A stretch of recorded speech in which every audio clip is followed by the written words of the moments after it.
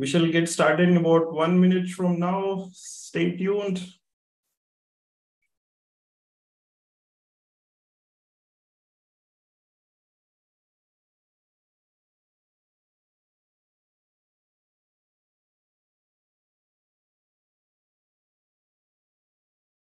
All right, Sia from MBBS Bangalore, B Pharm. Excellent. Thank you so much for the variety of audience we have. It's about one minute from now. Stay tuned. Yes, we are live on YouTube also. So the recording will be available for you later on from the session. Don't worry about that. All right.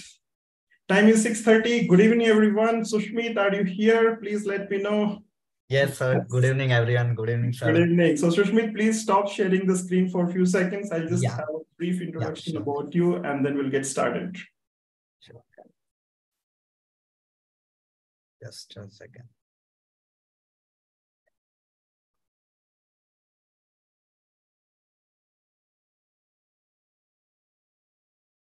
All right. Sushmit is here, everyone. Say good afternoon to Sushmit and good afternoon to everyone, whoever is joined from different parts of India and the world. You, some of you are also watching us on YouTube. So good evening, everyone. Sushmit is speaking with in this webinar second time. First time he spoke about the NIPER uh, exams and how to clear NIPER, and he gave very, very insightful talk on that. And today he'll be talking about uh, medical writing, how to get started as a fresher. So who's Shushmit? Shushmit is a you know proud pharmacist. He has done his MS pharmacy from uh, uh, and then he's got 57th rank in the JEE Joint Entrance Examination that was conducted for NIPER.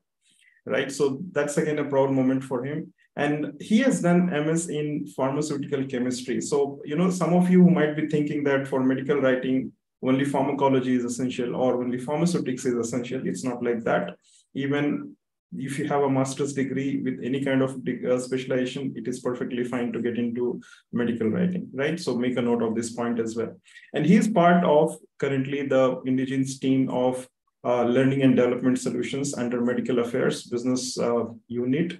And he develops a lot of content with respect to different therapy areas and these content are meant for training basically doctors pharmacists nurses patients and everyone else right so he has also uh, you know the speaker panel for the newly hired medical writer teams at Indegene. so he could be a point of connect for you uh, you know if you want to get started with your career at Indegene. And he'll talk more about that how can help he can help you out if you want to get started uh, as a career in uh, Indegene. So welcome sushmit. Uh, with that short intro i would love to hear from you and also learn from you as to what how you started uh, as a medical writer how you got started as a medical writer. What were you your key learnings and what are your suggestions for everyone else who is planning to get into medical writing or who want to get started as a medical writer uh, in the industry in the pharmaceutical industry so would love to hear from you please tell us your story and how you got started yes Yes, of course. Uh, first of all, thank you, sir, for this uh, introduction. It was uh, it is uh, great to hear. Uh, and second thing, ki, as sir told, how I started into medical writing, I will be like I am happy to say that or to announce that when uh, Indegene has been approached or Indegene approached NIPER Mohali for during our campus recruitment sessions at 2022 batch because I was from 2022 MS Pharm batch. So that time, uh, actually, my father has watched uh, Manoj sir's video and uh, on medical writing, and then my father shared me his video to uh, just to have a look as the company was approaching, and I have to prepare for interview. So through Manoj sir's lecture only, I actually I was inspired and I got into medical writing, and now uh, it is a proud moment for me also uh, that I am here. Means uh, during last year I was on the listener side and now I am on the speaker side. So it is uh, Manoj sir also has a role on that. So I would like to thank him also. And uh, I, also I would like to thank him for providing this opportunity, for uh, taking this session or uh, by leading this session and to guide many of our uh, aspiring professionals in medical writing. Okay, so I will share my screen. Yes, please. Yeah.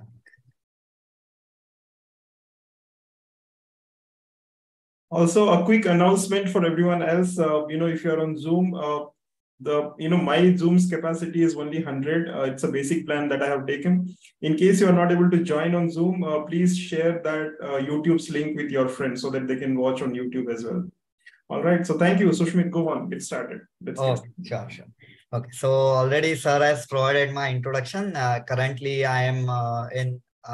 I'm working as a junior associate in scientific writing at uh, in our learning and development solutions business unit of uh, under medical affairs uh, under medical affairs at Indegene in Bangalore. Okay, so uh, let's get started. So the key learning objectives of this session is uh, see the main thing main thing which I would like to emphasize here is key how freshers or uh, how postgraduate students in any of the stream, like it might be MBBS, it might be, be MS, uh, MPharm, it might be in the uh, basic life sciences like biotechnologist or any other BDS, MDS, every kind of life sciences stream. So it will be, I will concentrate, ma mainly I will emphasize on how uh, the fresher or how uh, postgraduate students or graduate students, however, they should prepare for an interview in medical writing and how we can get into medical writing. Okay. So second thing, for satisfying this first objective, what is required? We must uh, have some specific skills or we must have some attributes like we what we need to get into medical writing. Okay. So major thing, as you all know, the interview is a gate for uh, entry into any profession. So you need to clear an interview. And for interview, the interviewer will be judging you on the basis of some aspects which he or she might uh, might be might be expecting from you all. So that kind of things uh, i am going to tell you what are the things. So this session is basically tailor made for uh, the postgraduate or the students who are desiring to enter into medical writing. And second thing he uh, the freshers in medical writing. Means what actually the freshers means uh, whenever we get into corporate what are the expectations from the corporate uh, towards uh, the freshers in medical writing. And thus if this is satisfied then your career uh, then your career will get progress and it will effectively progress not just progress it will effectively progress. So all these things are the key learning objectives of this session. So and first of all as uh, you all know if uh, during the interview time only if you are uh, like you, during the interview preparation only you know what are the skills required for effective career progression. So those kind of candidates are actually best fit. And they will be like they will be screened from around 80 plus or 90 plus into 10 or 5 candidates. Those who know how to progress well. So everything is linked to each another. Okay. So now as sir has only already provided my introduction. So just uh, i'll keep it brief so, okay, so uh, I have completed my uh, undergraduation that is B Pharm from Swaminarayan Pharmacy College at uh, Vapi, which is basically in Gujarat. Then I have completed my post graduation that is uh, MS Pharm in medicinal chemistry from NIPER SS Nagar. And then I have moved into the corporate that is already, already I have told you my story, like how I went from MS Pharm, how I got this uh, Indegene and how I was selected at Indegene and how I was, how I got into this field of medical writing, how I cleared my interview, that I already told you here. So this is my entire journey. Now let us get uh, to my background. Like I come from a research background. When means uh, for one year uh, I have did my research work uh, in my at NIPER. That is key. I have synthesized uh, this uh, total around nine compounds which are targeting DNA polymerase beta beta and uh, it is actually for uh, synergistic approach for treatment of cancer. And it was a part of international research collaboration with university of florida and our laboratory. So basically what i did was ki, you might be knowing i will not get into much technical details but just to throw a light the uh, dna polymerase beta is such an enzyme which actually is responsible for repair of dna so whenever we give uh, alkylating agents or any other anti-cancer therapies or which in basic sense we can call it as chemotherapy. So chemotherapy drugs are like major, major one class of drug is like alkylating agent. So they alkylate the DNA base pairs and thus they damage the DNA. So this, when the drugs or when any external agents damage the DNA, that time our body actually uh, tries to repair. And that DNA polymerase beta is an enzyme which repairs the DNA. So I, I have designed some several drugs which are DNA polymerase beta inhibitors. So that is actually when we give these agents in combination with those uh, alkylating agents. So it will lead to synergistic effect. For and second achievement, uh, not not uh, this was first was my research work. So this achievement in my research work was ki I have developed around 20 uh, methods, 20 successful methods for isolation of new chemical entities by automated flash chromatography. And I was actually the first master student among the department to develop uh, this thing. And later I was appointed by my professor to train all the junior students for using this uh, automated flash chromatography. So this is about my small background. And then uh, coming to my administrative positions. So uh, in academia, I served around three to four administrative positions for student welfare. Like I was the placement cell head of my department. Then also I was a head of the web development committee of my research group. Then I was a, a social associate coordinator of uh, my alumni association of my department. And I have handled the LinkedIn page. So I was the social network handling committee head of my department. And also I was the CR of my department. So coming to my achievements was ki at Indegene, uh, we'll go by the reverse chronological uh, order. Like uh, at Indegene, I was awarded in the hitting the mark for development of multiple high quality first drafts for one project. And uh, the achievement was ki during the traineeship, I was awarded for uh, this uh, high quality first draft. So that is one of the thing. Then also I was appointed by my lead for uh, mentoring the newly hired medical writers. And actually, I was the youngest member to lead the nine member speaker panel at for guiding new medical writers at Indegene, which are hired through campus uh, recruitments.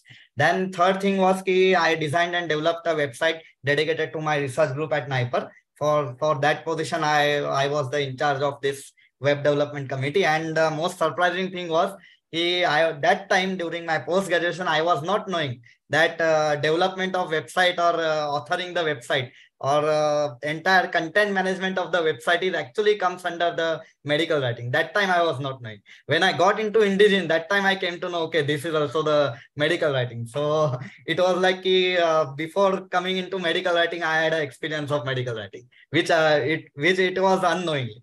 that is the thing. Okay, so now uh, let us get back to, uh, now let us move on to the presentation or our main emphasis of our today's presentation. That is, see, uh, before uh, starting all this lecture and all, what are the skills and what are the attributes which are needed, what you should do for effective career progression and all. So you must get an overview, like what is medical writing? If you know this, because uh, most of the audiences are final year students or they might be fresher. So for fresher, we have a later part of the presentation, but mostly they are the final year students and college students. So they must know what is medical writing. So in order to progress effectively and in order to uh, gain some insights like what is needed, what skills are needed, you must get an overview. What is medical writing? I will not go into deep, but just uh, an overview. Okay, so first I will tell ki understand the definition it is not the definitions are usually meant ki, okay they are given by some authorities or they are so we are we just usually mug up the definitions and we usually write to the exam. That is not the thing. This is not an academia. So so here i will tell you understand the definition. Give what medical writing is. And this is defined by one of the premier organization of the world that is american medical writers association. So i have taken a definition from that organization or what that organization has defined medical writing so see, medical writers write, edit, or develop materials about medicine and health. They do this by gathering, evaluating, organizing, interpreting, and presenting information in a manner appropriate for the target audience. Each and every word is important. I will make you understand it later. Professional medical writers also have communication expertise, awareness of ethical standards, and healthcare knowledge. Okay. So now most important part of this definition is, ki, see, we write usually medical writer by terminology only we will understand that medical writing is something related to the medicine and it is something related to the healthcare or the pharmaceutical sciences, in fact. Okay. So the main thing is ki we write for the medicine and we write for all the healthcare professionals it might be uh, it might be from patients are not healthcare professionals but we uh, means our audience target audience is also healthcare professionals so and also the patients when everything related to the healthcare that i mean to say here So they do this by means how do they write the material or how do they develop the material for medicine and healthcare? They do this by gathering. Means first you need to gather. If there, see there are uh, there is a much lot of information which is uh, available through various sources. So you need to gather like if for which area you need to write. So you need to gather the information. All the information must be gathered. So how well you gather so that that comes the that comes into point so each and everything i will link it to the later part of the site but for just now i'm providing you the overview to in order to understand the definition clearly okay so gather means you need to gather all the things like uh, what all the information you need to gather and you need to keep for your content then you need to evaluate now come here this evaluate is like uh, see uh, all the information which is available on the internet or on the through any of the sources it is not ki everything is useful for your case or whatever content you are presenting. It is not useful. Or first thing ki, so that you need to apply filter which one is useful. And if you found that information is useful, then you need to filter, you need to apply another filter. Like you need to evaluate the information. Is it information correct? Is it not? Is it incorrect? Or how well it aligns with our content. So that thing is known as evaluation. Third thing, after you have completed this step, you need to organize your content. Means all the evaluated content which has been passed through two filters, which I told you just now. So that needs to be uh, organized into well and precise manner so that it can be uh, presented to the audience. Okay, so this organization is over. Then you need to interpret the information. Is the organized information, you need to interpret it well. How uh, because see, you are uh, ultimately presenting your information to the audience. So first of all, it is very much essential that you interpret the information yourself and then you will be able to present it to audience. So last step is like in uh, second last step only it came. It is uh, interpretation, interpretation and it is presentation. So how well you present the information. Now here the target audience comes. See in the first definition it is written. It is in a manner presenting the information in a manner which is appropriate for the target audience. Means the target audience is your uh, is the scope means uh, your content must be tailored to a target audience sometimes it may be a healthcare professional sometimes it may be uh, uh, patients sometimes it may be for the regulatory agencies sometimes it may be for uh, any other uh, like patients healthcare professional regulatory nurses all the all kinds of uh, persons sometimes it may be for even for the scientists also so you need to uh, look at this. Key, what is a target audience and how you are presenting. Okay, so uh, till here, just I wanted to know whether this definition is clear or not for everyone. You can interact. There is no problem. I, as sir and I always tell, key, we need interaction during this thing, during all these sessions.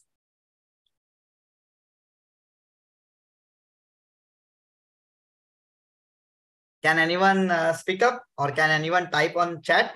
whether it yes. is clear participants please keep interacting if it is not clear just say not clear so one not clear so far and rest everyone is clear all right. So maybe we'll uh, briefly summarize sushmit if, yeah. Yeah. Yeah sure. Thank you. Okay okay sure. So thank you for uh, giving responses. So see medical see usually all the definition if i just uh, summarize it medical writer means to write something for uh, healthcare professionals. Or healthcare professional means write something for healthcare. It might be related to the uh, patients. It might be related to doctors. It means all the other personals associated with the healthcare profession. They should, they will be our audience. So, so how do they do that? So it is through gathering, evaluating, organizing, interpretation, and presenting. So you need to gather the information. From all the sources, you need to gather appropriate information and then the gathered information you need to evaluate it whether this information is actually correct or not or whether this information is actually needed for our content or not so that means gathering and evaluating. Then you need to organize the content. Ki what will what should i discuss at the first point? What should be at the second point? What should come as the third? And how to conclude this thing? So that is actually then organization. Then interpretation. Ki all the organized information, everything, all your content, first you need to interpret it. Ki are you clear with the content? If see, if I give you an example of anything, if I ask you uh, mechanism of metoclopramide, any drug, okay. So for any drug, if I example, if I simplest drug, if I take a mechanism action of paracetamol, And if I tell you, you need to present this uh, to the audience. So first of all, you need to interpret. So if I go from gathering, so see, if I give an example of mechanism action of paracetamol, and you have to gather this information first. If you need to search, you need to do a thorough literature search key from where I will get this mechanism action and how it is. Uh, you must take the latest articles. You must take uh, means all the theories which are actually uh, means tested. So those kind of things uh, it comes under means gathering and evaluating. So through through this evaluation stage, you need to actually check whether this information is correct or not or whether if you take some any as paracetamol is very old drug and all so you may get the oldest article also. But you it is generally uh, taken into consideration that you will uh, you will have to use the latest uh, review articles or latest research article for anything so that the information is latest. So this comes under evaluation. And if there are two or three four theories related to the mechanism action of any drug then you need to organize it. The first theory uh, means right from the ascending order, like from uh, earlier theory, what suggested, then newer theory, what suggested, then more new theory, more latest theory, what is what is there. So this is known as organization. And this organized data, now, now you need to interpret. Means actually the thing is whether you start from gathering also, because you are actually in this field, because in this field only everyone enters into medical writing, as we are all the life sciences profession. So the interpretation word here means ki just clearly understanding ki whatever your information has been organized, are you able to interpret it not? And then you will need to present the information. So, so I hope this uh, this is clear by an example. This is very general example. I know that it is very old drug and all, but just for the sake of clarity or simplicity, I gave this example. So now I think that it will be clear for everyone, this definition. So, so can we move forward, sir? Yes, Sushmit, please. We'll take the questions at the end of the session. Oh, okay. Sure, sure. Okay, fine. Okay, so now uh, you understood about the definition of medical writing and what actually we do. Okay, so that things you understood now. It is clear. Now uh, we'll have to, I will summarize here types of medical writing. And believe me, audience, this is very vast list actually. So this is like more uh, more of a generalized thing or more uh, specific things I, I have given like uh, more major major things I have written but it is many. There are uh, this entire screen will actually get uh, I will not be able to represent it on a one flowchart that many types of medical writing are there. But here for the sake of simplicity or just as a as the audience is fresher so I have kept it limited and I have discussed the major uh, three to four branches of medical writing so first branch which comes here is regulatory writing, which I have discussed here. Okay, so regarding regulatory writing, I will tell that, ki, see, you might be knowing ki for every medication or every new drug which has been synthesized or which has been developed, uh, which formulation has been developed, anything, any new drug which has been developed by any pharmaceutical industry has to uh, pass under the regulatory guidelines and has to be approved by regulatory uh, body appropriate regulatory body of the country. Like for example, if the drug needs to be marketed or sold into United States, then US FDA is the regulatory authority. If the drug needs to be marketed or it has to be uh, sold in India, then our uh, regulatory authority is CDSCO, Central Drug Standards Control Organization.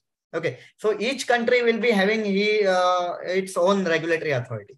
So the thing is that whenever any new drug has been developed by any pharmaceutical industry, it has to be uh, it has to be taken approval or this drug application, new drug application or all the approval has to be submitted to the regulatory authorities. And then if regulatory authorities approve that, then the drug comes into market.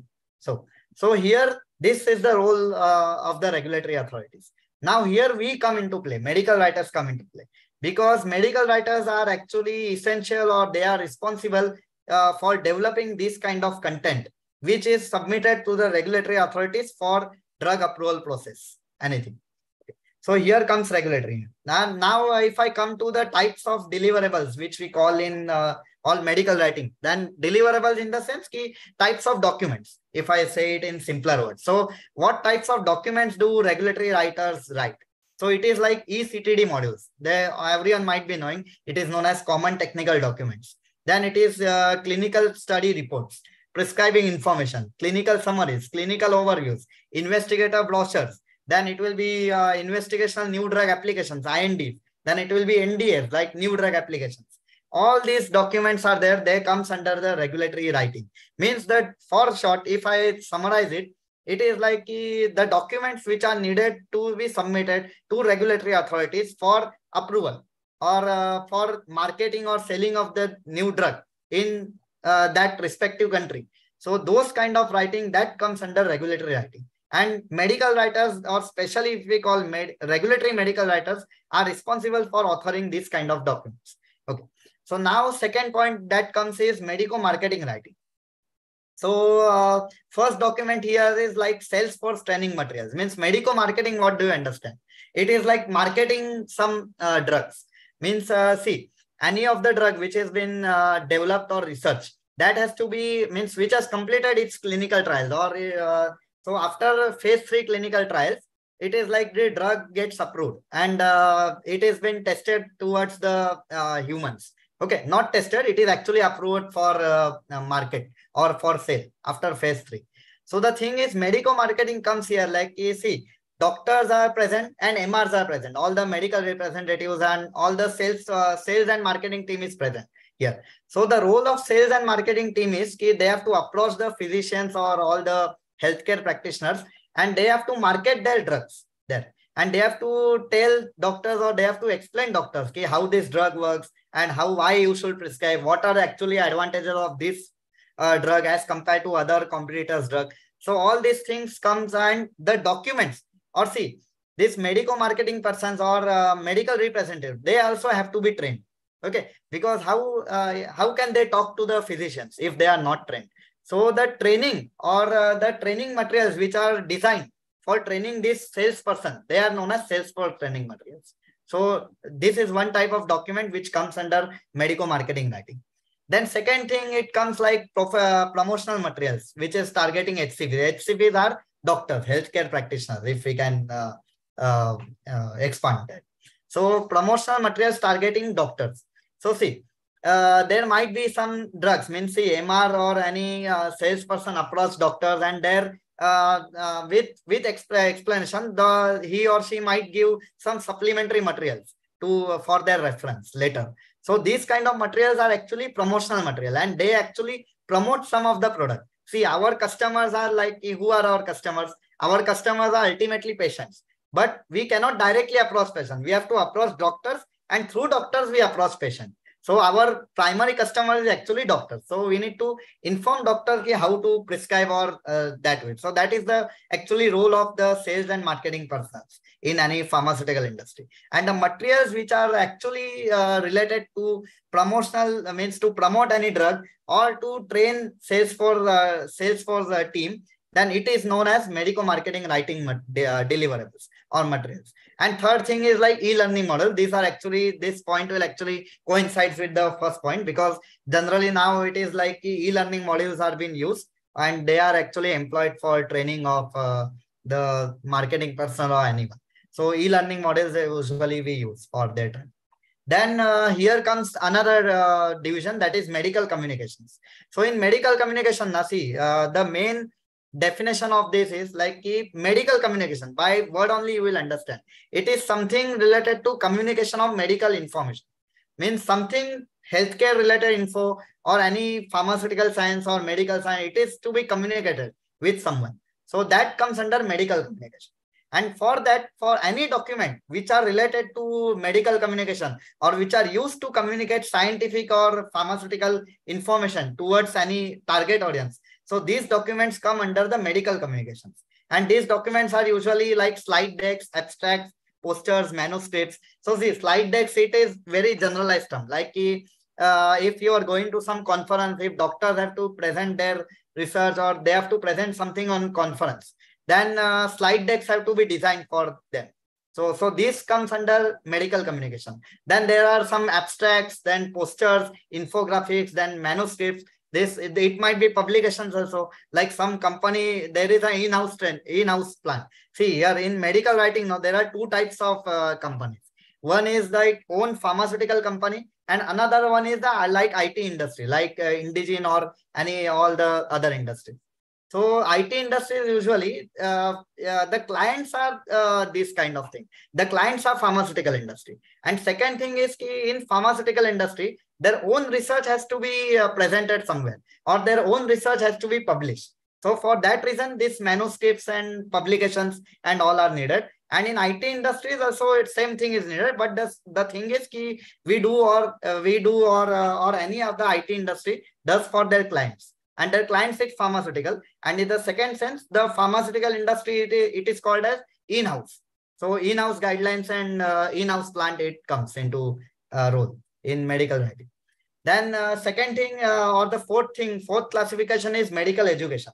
So here also e-learning modules come. Just the difference is that these e-learning modules are actually dedicated for medical education or they are actually dedicated to training of any uh, academy. It is really uh, related to some academic uh, books. If uh, if in medical education you need to develop some textbooks or you need to develop some of the materials which are used for training of persons. So that kind of things comes under medical education. So e-learning models are also one part, textbooks are also one part, and this is continued medical education. That is also another part. Okay. So here it's like brief overview of the medical writing and trust me, these are only major types which I have listed. There are many other types like safety writing that comes under pharmacovigilance and other other types are also present. There is an HEOR also right now, uh, this health economics and outcome research, this field also blooming and medical writing has been developed for HEOR also, HEVA also, everything. So these are also uh, types here, major types are listed to just get an overview. Okay. So now we'll go on cracking medical writing interviews. Means uh, as I earlier only discussed during my introduction or uh, on our key learning objective slide, it will, in order to get into any field, interview is very crucial. Means it is, and for especially for freshers, it is very crucial. Not for fresher, especially for college student, it is very crucial because college students are like we are totally aligned towards academia because i was also uh, i have one year experience in uh, just now today only i have completed my one year work anniversary so i can relate myself like how students what are the perspectives of students regarding the interview? So i i understand.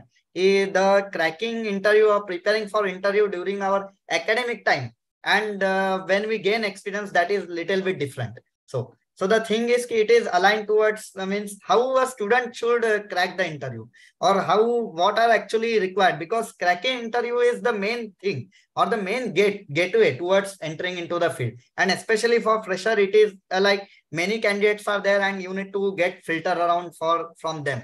And only trust me like uh, in mnc companies or their stringent selection criteria is there. So kindly focus on this part men.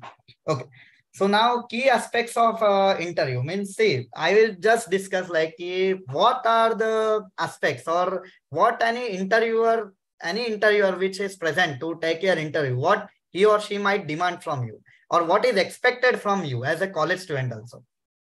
First thing, it is a strong scientific expertise because as you are medical writer as i already told you in the definition part also it is writing or communicating pharmaceutical or healthcare or any medical medical science to the audience. So first and foremost thing which is important is ki you need to have a strong scientific expertise on your topic. On your topic in the sense ki if you are master student then whatever you are you are doing the research it is not ki they are not going to expect you ki okay our therapeutic area is oncology or our therapeutic area is so and so it is endocrinology or it is gastroenterology, then you need to be expert on this area. Okay, so that is not the thing. You need to be expert on your area of research. Ki whatever area your project is, whatever area your M.Pharm or MS Pharm, uh, whatever your post-graduation area is, what have you researched? So in that area, therapeutic area, you need to be, uh, you need to show your expertise. Because the main thing is, Casey, if uh, anyone will sit for an interview and if uh, if and if for personal also you just uh, assume yourself you are interviewing some candidates there. So empathy is the main thing. You need to understand this is the main thing. He, when you are thinking i am i will give the interview then you need to first think like uh, self as an interview like if i am the interviewer what i will expect from candidates? So what you are going to expect? You are going to expect strong scientific expertise. See uh, if you are interviewing some candidates and he he told that he is uh, he has done a research project in oncology and if he doesn't know simple things about oncology or very simple minor concept, then uh, will you be comfortable for hiring uh, anyone? It is not possible, right? You you cannot hire anyone. Those who has not uh, scientific expertise or those uh, means he is telling he is working on this area, but he, he is not able to answer even a simple question. So that is not the case. So this thing you need to learn. If whatever project you are doing, you need to show your expertise in that. Or whatever you have done, you need to tell them or effectively present them. Second thing, building an engaging scientific story. Now the thing is, ki, see, when in academia, our research work or whatever you are doing, your dissertation or your project, everything, it is like, it is a vast thing. And uh, you just have around 15 to 20 minutes of your interview to impress your interviewer through this thing. So how can you expect ki, your six months or seven months uh, work in just 15 to 20 minutes? So you need to build some story like story means, see, uh, that is only related to the AMWA definition. That is organized. Okay, I will, uh, don't worry, I will relate each and every slide with the AMWA definition. Because this AMWA definition is so comprehensive and it is actually exact thing. Like each and every skills or each and every concept is related to some of the other part of the AMWA definition of medical writing. So build an engaging scientific story. It is related to the organizing the information if you have to present a six to seven months work in front of the interviewer in 15 minutes, then uh, how would you expect someone ki, uh, if he or himself is not able to explain his work or he or himself is not able to organize his work, then how it will be effectively presentable? And how the interviewer can understand what have you done. So it is the main thing. You need to build some storytelling. Storytelling is important. Means i am not telling storytelling means ki telling anything fake or that way. It is not. Uh, that whatever you have done be genuine be yourself and the thing which whatever you have done you need to present it in an effective manner and you need to and for presentation you need to build an engaging story means the it should have a sequential step and uh, your research work so that sequential step you need to uh, present it before the uh, interview so first two point is clear. And the last point is also, I explained you in uh, this only. When you build a scientific story, the next part is effectively present. The here confidence and all the soft skill related things come uh, into the room.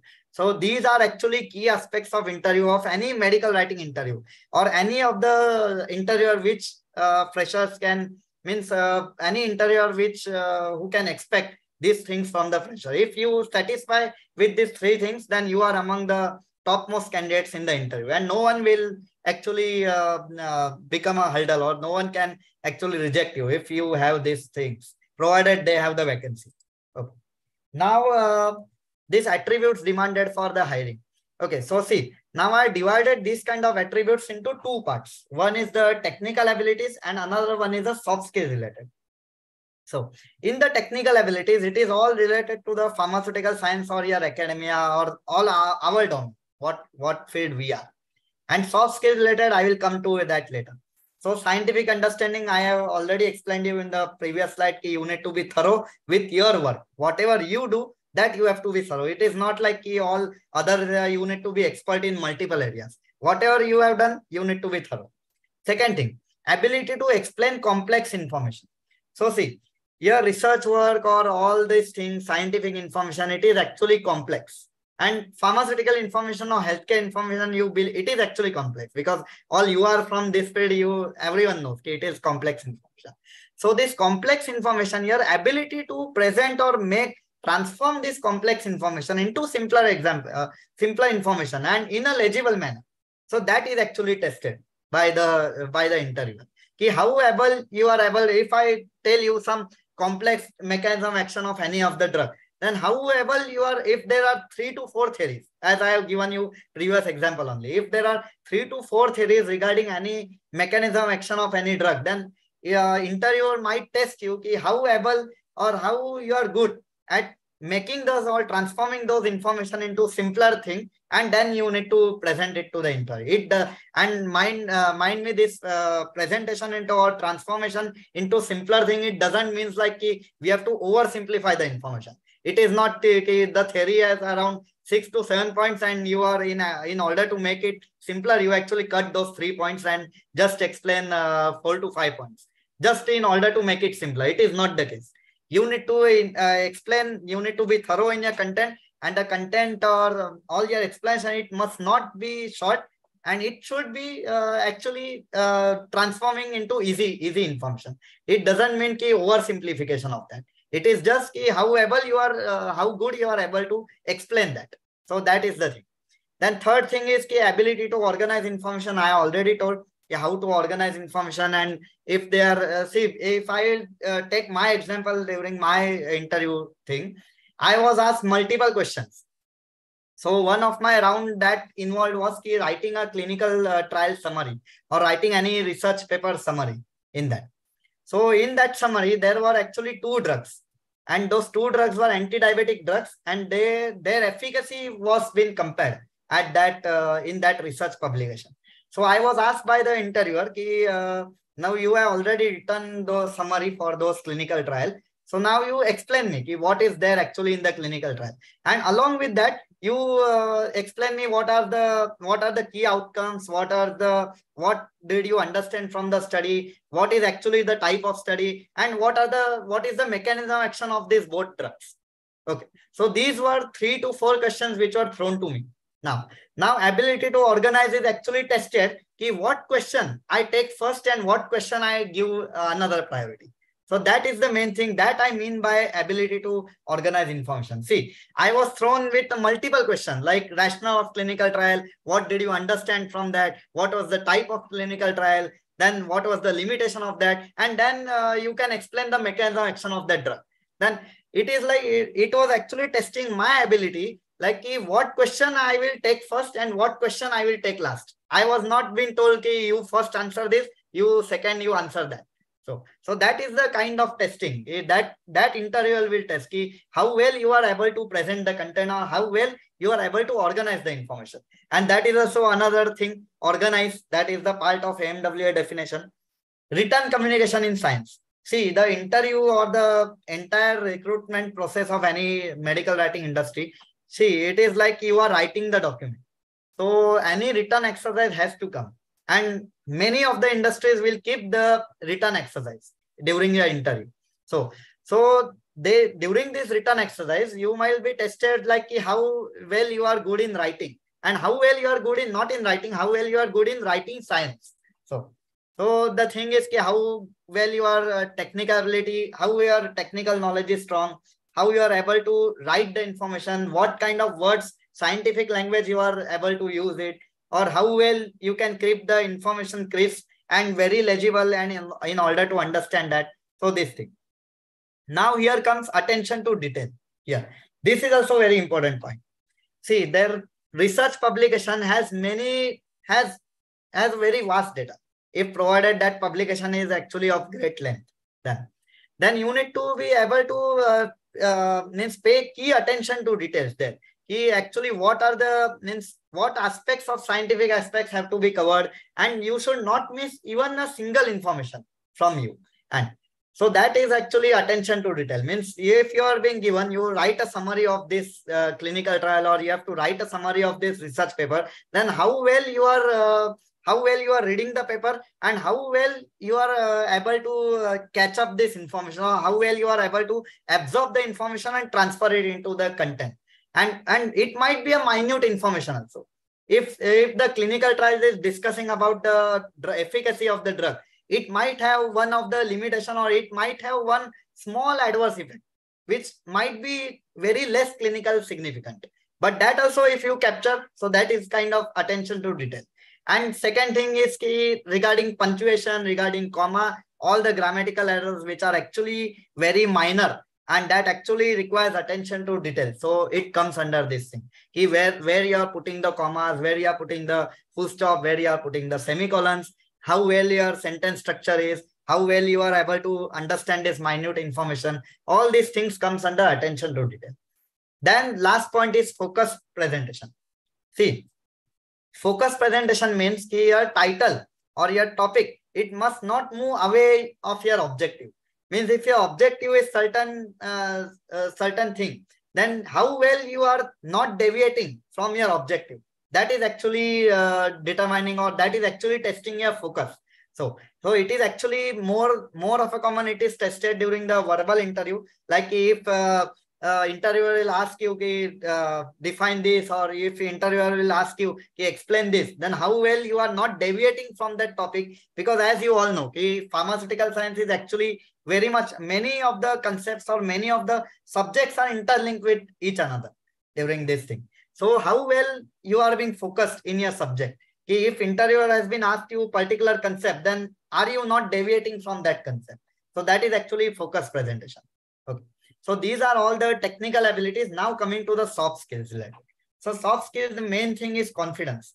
See, confidence is the key. Then I will tell you, if you have scientific understanding, I trust me, I have seen many students who have scientific understanding, who are actually good in science, who are actually good, or they are actually brilliant, but they, they have uh, less confidence or they are underconfident during the interview. Then they actually suffer. Means what is the use? Here confidence is the key. Because what is the use if you understand everything, but you are not able to convey it or you are not able to present that. So, so during presentation or during this kind of things is like the verbal interview it is, but also in written also it might play some some of the other role because you need to pass this verbal interview. So it is not like you are good in writing and you cannot explain, okay, then you will be hired for medical writing. It is not the case because in corporate you will not be always writing you it will also show okay, how well you are interacting how well you are collaborating medical writing is not only about writing the documents means maintenance it is regarding the collaboration also. How well you are collaborating with your team how well you are in uh, collaborating with uh, other cross functional team. So that is also the key. So where confidence actually matters here. And so confidence is the key. Means uh, see if if anyone, as, as earlier example if I gave, if you are the interviewer, then will you hire someone who is not confident enough? Or if if I if I sit for hiring, eh, or if sir sits for hiring, and and we ask, okay, tell me something about uh, yourself, then it is like many I have I have taken mock interviews. Many of the persons I like my juniors or any of the thing. I have taken mock interviews for some. So majority of students are facing like whenever I ask question, uh, will you tell tell me something about yourself? Like they are not even able to tell something. Means uh, usually and students what they do, they usually prepare for that. Means even the thing I don't understand why it is so. Means even if you want to tell something about yourself, it is not any rocket science question or even it is not for pharmaceutical science. It is like I am just asking you, to tell me something about yourself but the thing is, ki, they are confused at this moment. So this should not be the thing. Means even you are not able to tell about yourself, then how the thing is ki you will able to tell about uh, all the complex information and everything. Even if you pass this question, tell me something about yourself. And if I ask you ki what is your project, then here also it comes like ki you know everything. You know each and everything. You are very good in your project and you have done it in a honestly and everything, all the research data and every data you have. But the same thing, you are not confident enough and you can, uh, why during the interview, you actually forget, okay, this I have done, or I have to say this, I forgot this and that all. So the main thing is, see, many persons or many students tell, okay, I know everything, but I forgot during the interview. So why you are forgetting? The main reason of forgetting is you are trying to remember this thing. is it right? you, whenever you will forget, if I say, Ki, I forgot this thing, that means ki, I was trying to remember something. And the main thing is ki, why you want to remember about your project or why you want to remember about yourself. you already know what is the thing. You It is like, it is not the question to prepare. Uh, if I ask you, if person working for six to seven months in his research project, from uh, around second year and first year he has done a thorough literature search and if uh, I need to ask him and he need to prepare, like what is my project? It is not good. Nah. It is it is actually showing you ki less confidence. And that is why you forget. Because you try tend to remember and you tend to write, okay, I have done this, I have done that, I have done XYZ. After that, I have to say that. If you come and prepare and uh, if you come to prepare and you just uh, write, if you uh, give your interview scripted, then you are going to forget. So it, is, it should not be scripted see now whatever uh, any lecture someone gives like sir gives many lecture if i give lecture and if many many lectures give any talks or anything So, so uh, do you do you students think we come scripted? We just write a script and uh, we just memorize it, and now what I have to tell, and now what I have to. That way we do. It is not the case. If we come scripted and if we have written what now, if I have written what I have to say all this thing, then I would have I would have forgotten all the same thing. If what I have to discuss in this part, it is like uh, when the time comes, it must come by your heart the main thing. So that is actually been tested and that is not only for medical writing, that is all for, it is related to all the interviews. But since our webinar is focused on medical writing, I will be more focused on this and why it is most important in medical writing, the thing. Second thing is etiquettes. See, uh, if any interviewer will greet you, he, okay, hi, hi, XYZ, how are you? That way. And you just say, okay, I am fine. And and you are not greeting him. He, okay how are you? And what the thing. So that also shows it okay that that is again coming to a first point. You are uh, an interviewer will know that you are frightened from first uh, instance only.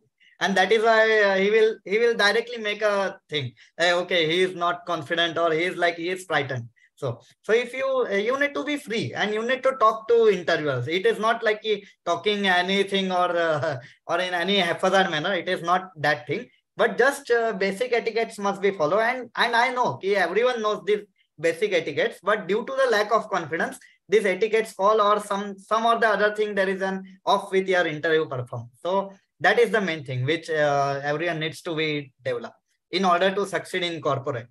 Oh. And third thing is transparency here it comes transparency like uh, I have seen many of the person like preparing, okay, even they have not done that XYZ thing and they write, okay, I have done this and they even uh, read for that. Okay, I have, even if I have not done, I will just read for that and if interviewer will ask and I will tell that. So that is actually, and you will be actually trapped in this because interviewer who is interviewing you, he is with a lot of experience. He is with lots of experience uh, coming here and if you try to fake yourself or if you try to uh, not maintain your transparency, okay, and you try to show something fake, okay, I have did that, even if you are not done, and that interview might ask you the more questions or he might get into more detail because you don't know okay, how, uh, what is the characteristics or how well is the, how is the interviewer. If uh, interviewer might think, okay, this question I need to ask in detail. So, and if he asks you in detail and you are, you are not able to tell, then here also the underperformance or your red flag. It is one kind of red flag from the interview. So be transparent. Don't fake yourself. Ki, okay, uh, you have to uh, means uh, you are not done that. Then also you are showing that. So be transparent here.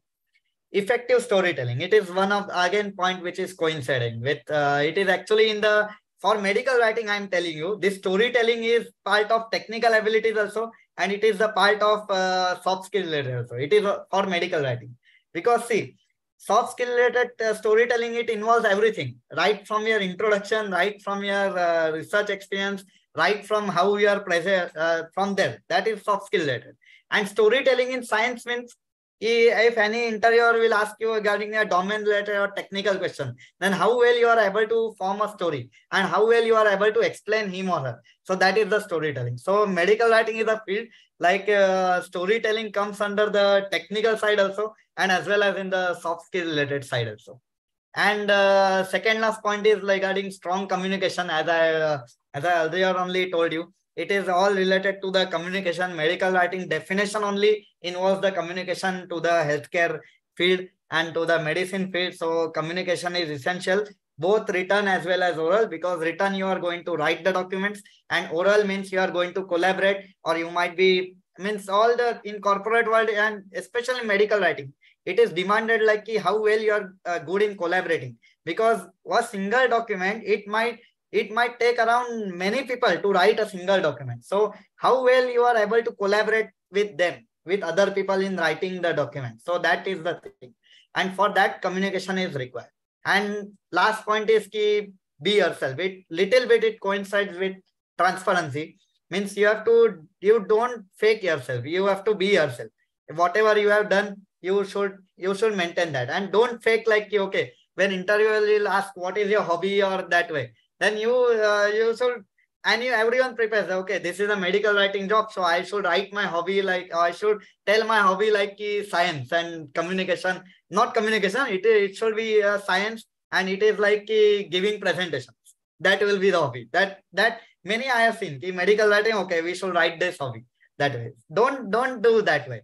Be yourself. Wherever the question is, if uh, interview uh, will ask you like what is your hobby, then just ask your hobby only. Be uh, not ask you just uh, give him your hobbies only, not to uh, fake yourself or don't like it, don't try to align your hobby with uh, the JD which is there. Interviewer will understand. He is, I believe me, he is like very experienced guy, whoever is there. They, can easily understand whether you are telling truth or whether you are not. So it is all the thing. Means whenever you are telling truth, it is actually building some confidence with the in terms of you. Or uh, interviewer will able to trust you. So here. So all these are like the attributes which are demanded for hiring, which are very important for any of the postgraduate student who are desiring to be entering into medical writing field. So all these inter attributes and need to be shown in the interview. Then I can assure you that no one will stop you from hiring anywhere in the medical writing because these are the things which are expected from the freshers here. Now let us come to the another uh, part of this session like effective career progression. So so this this is actually uh, tailored for uh, freshers also who are into the medical writing field or who are who has uh, received campus recruitments or who has received any offer and who will be joining medical writing in this year and this talk and this section is also important for the aspirants of medical writing. Like uh, earlier uh, regarding the interview thing and all i told who are going to be uh, who are desiring for medical writing. It is important for them also because in order to understand uh, the career progression if you understand ki how uh, what are the attributes or what are the skills which are required for effective career progression in medical writing. So and that skills if you start showing in your interview also or if you start showing to an interview also then no one can stop you from hiring and it is like you will be among the topmost preferred candidate for the interview. And second thing those who are the freshers or those who have just now joined medical writing in this year then they also need to understand what are the attributes or what are the things which industries expect from uh, medical writers and how and those things if you're satisfied then your career will progress. That is that is for sure. Okay. So now i will show you okay see in order to first i will link that only now i told you okay, i am going to show you okay, how your effective what are the key attributes or what are the steps which are required for effective career progression in medical writing so for this thing you need to be aware about what are the steps of content development and how medical writers actually work in corporate. Oh, okay. So if in those steps, in each and every step, there are actually skills which are required. So, so each steps requires a skill and that has to be satisfied and then your career is uh, actually booming and your career can progress here. So now just now uh, you can focus, uh, you can actually focus here. What are the steps for content development? First thing is key scope of work. Okay, whenever the project starts or whenever you have got something, an assignment or anything.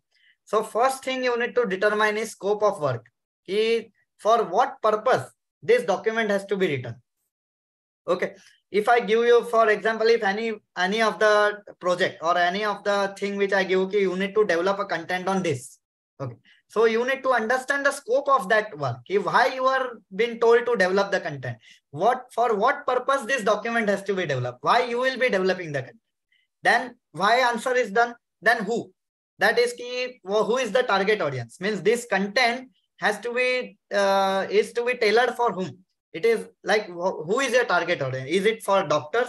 Is it for nurses? Is it for patients? Is it for regulatory authorities or is it for scientists? or is it for marketing training persons or sales and marketing persons? So the target audience decides and the purpose of why you are writing this document, this uh, decides. And third thing is timelines.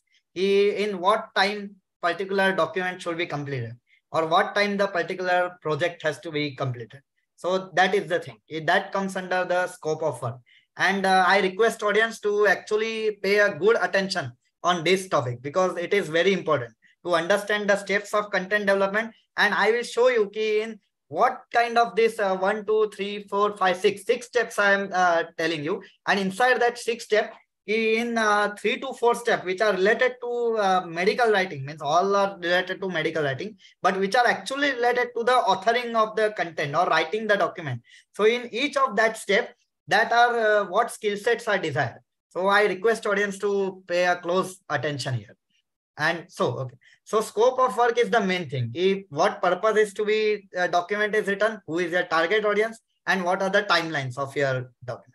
Okay then uh, target audience, if I go you, if I uh, give you just a short summary, it is like a drug and drug which is binding to the receptor.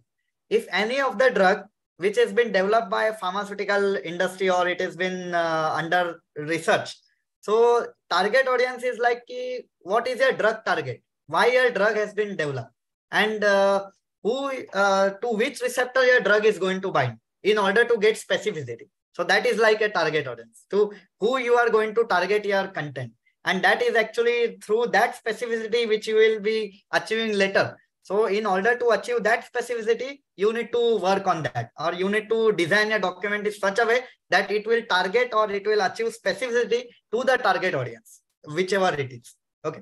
Now coming to uh, literature search. After scope of work, it is usually uh, all these three things are finalized then it is literature search. Means from here actually you start your uh, writing exercise. Or from this step, literature search step, you actually start your content development. And believe me, uh, in literature search, it is the one of the crucial step because uh, in this step only, you will get to know or you are going to build your content. Means the quality of references which you are going to search or which you are going to gather. Now coming to the AMWA definition, it is gather. Okay quality of references which are which you are going to gather that will actually uh, be impacted or that your quality of entire document will get impacted on your quality of references. So it is it is direct function of quality. So the it is actually i will say that it is the important part of the content development that is literature search or how well you are able to search or how well you are able to dig into the science or how well you are able to achieve depth in science so that is actually essential in literature search or the way you are able to read it or the way you are able to understand. See, in my introductory slides only, I told you, if you um, try to search for any of the topic in uh, healthcare or in pharmaceutical sciences, you might get uh, many, even uh, lakhs of publications into that. But, but your purpose and the target audience or entire if i say a scope of work decides key what articles is needed for you and what you what should be excluded. So so that is again coming to the AMWA definition gather evaluate. So that is under the evaluate part key whether you are evaluating key which is needed according to my purpose or what is needed according to my target audience or the scope of work. So that is actually first thing in literature search is gather and then it is evaluation. Here Okay. So once you know, once you are good into this and you have search, uh, you are getting appropriate number of research publications for your uh, content, which are satisfying or which are aligning with your scope of work and uh, purpose or target audience, then you need to, then your literature search is actually end. And I will tell that ki, during the literature search itself, the writer must actually think ki, what I will uh, uh, present in this content or uh, during the literature sir it is like a reading phase. You are you need to read a lot upon the content. You need to go into deep for your uh, entire your publication or whatever. You need to go into deep for your topic. So whenever you cross that or whenever you approach that depth i will suggest that ki, during that phase only you start uh, building your content. Means during that phase only you uh, not building the content. Means in the mind you just start from that phase only you need to look at okay, okay how will be my content? Or what is my strategy to present? What will be the first thing? What will be the second thing? From that step only you can organize your content in your mind. And then later in so that in the authoring stage you will not be facing uh, many much difficulties there so literature search is clear. Now now coming after literature search post this and now believe me this is very important because the quality of references which you are going to gather here and which you are going to evaluate here or which you are going to filter it here the content because see the content you are going to uh, take it will be from that reference only the content entire content will be referenced to your uh, gathered articles only So your content quality or your first draft quality is function of how well you perform during the literature search stage. That is the main uh, key uh, aspect of this thing. So this step is very important. Then it comes uh, authoring. So for authoring, I will discuss in the next slide also because authoring requires uh, specific skills and all. So there are uh, in next couple of slides, I will discuss about the authoring. So just short, I will tell you in authoring involves just writing the content by word only everyone will understand. And here you need to follow in-house or client guidelines. I earlier told you there are two types of setting for medical writing. One is the in-house pharmaceutical industry, like it will develop the materials for their own research or for their own pharmaceutical industries. Then and uh, client will be like client based means it is consulting or it is an IT industry. Like the clients are pharmaceutical industry and we and uh, IT industry, the personal working there, they develop the material for their clients. Yeah. So these are two types of settings. So for client thing, you need to follow client guidelines while authoring. And for in-house content development, you need to follow your in-house pharmaceutical industries guideline for content development. So this is the authoring. I will come to it in the next slide for what uh, all the skills are needed. Then after authoring, see, after authoring, you are going to send someone who is an expert in the field for review of your content. So, so after authoring, the next step will be coming it as a content review.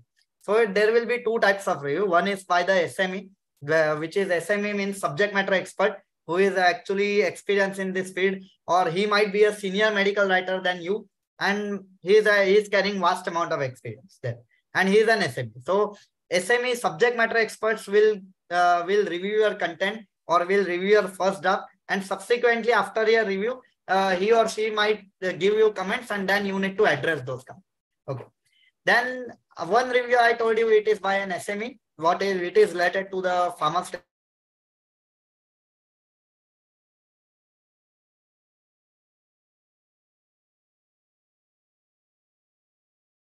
Okay, looks like we have lost Susmit's internet connection. He should be back. Just stay tuned. I'm checking with him.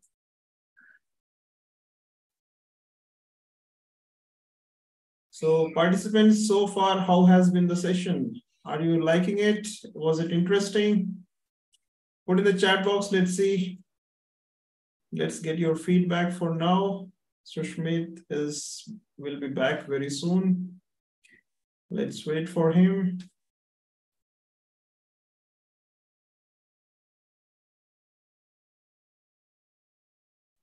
Susmit, you're on mute. Sorry, uh, I think there was an internet disrupt.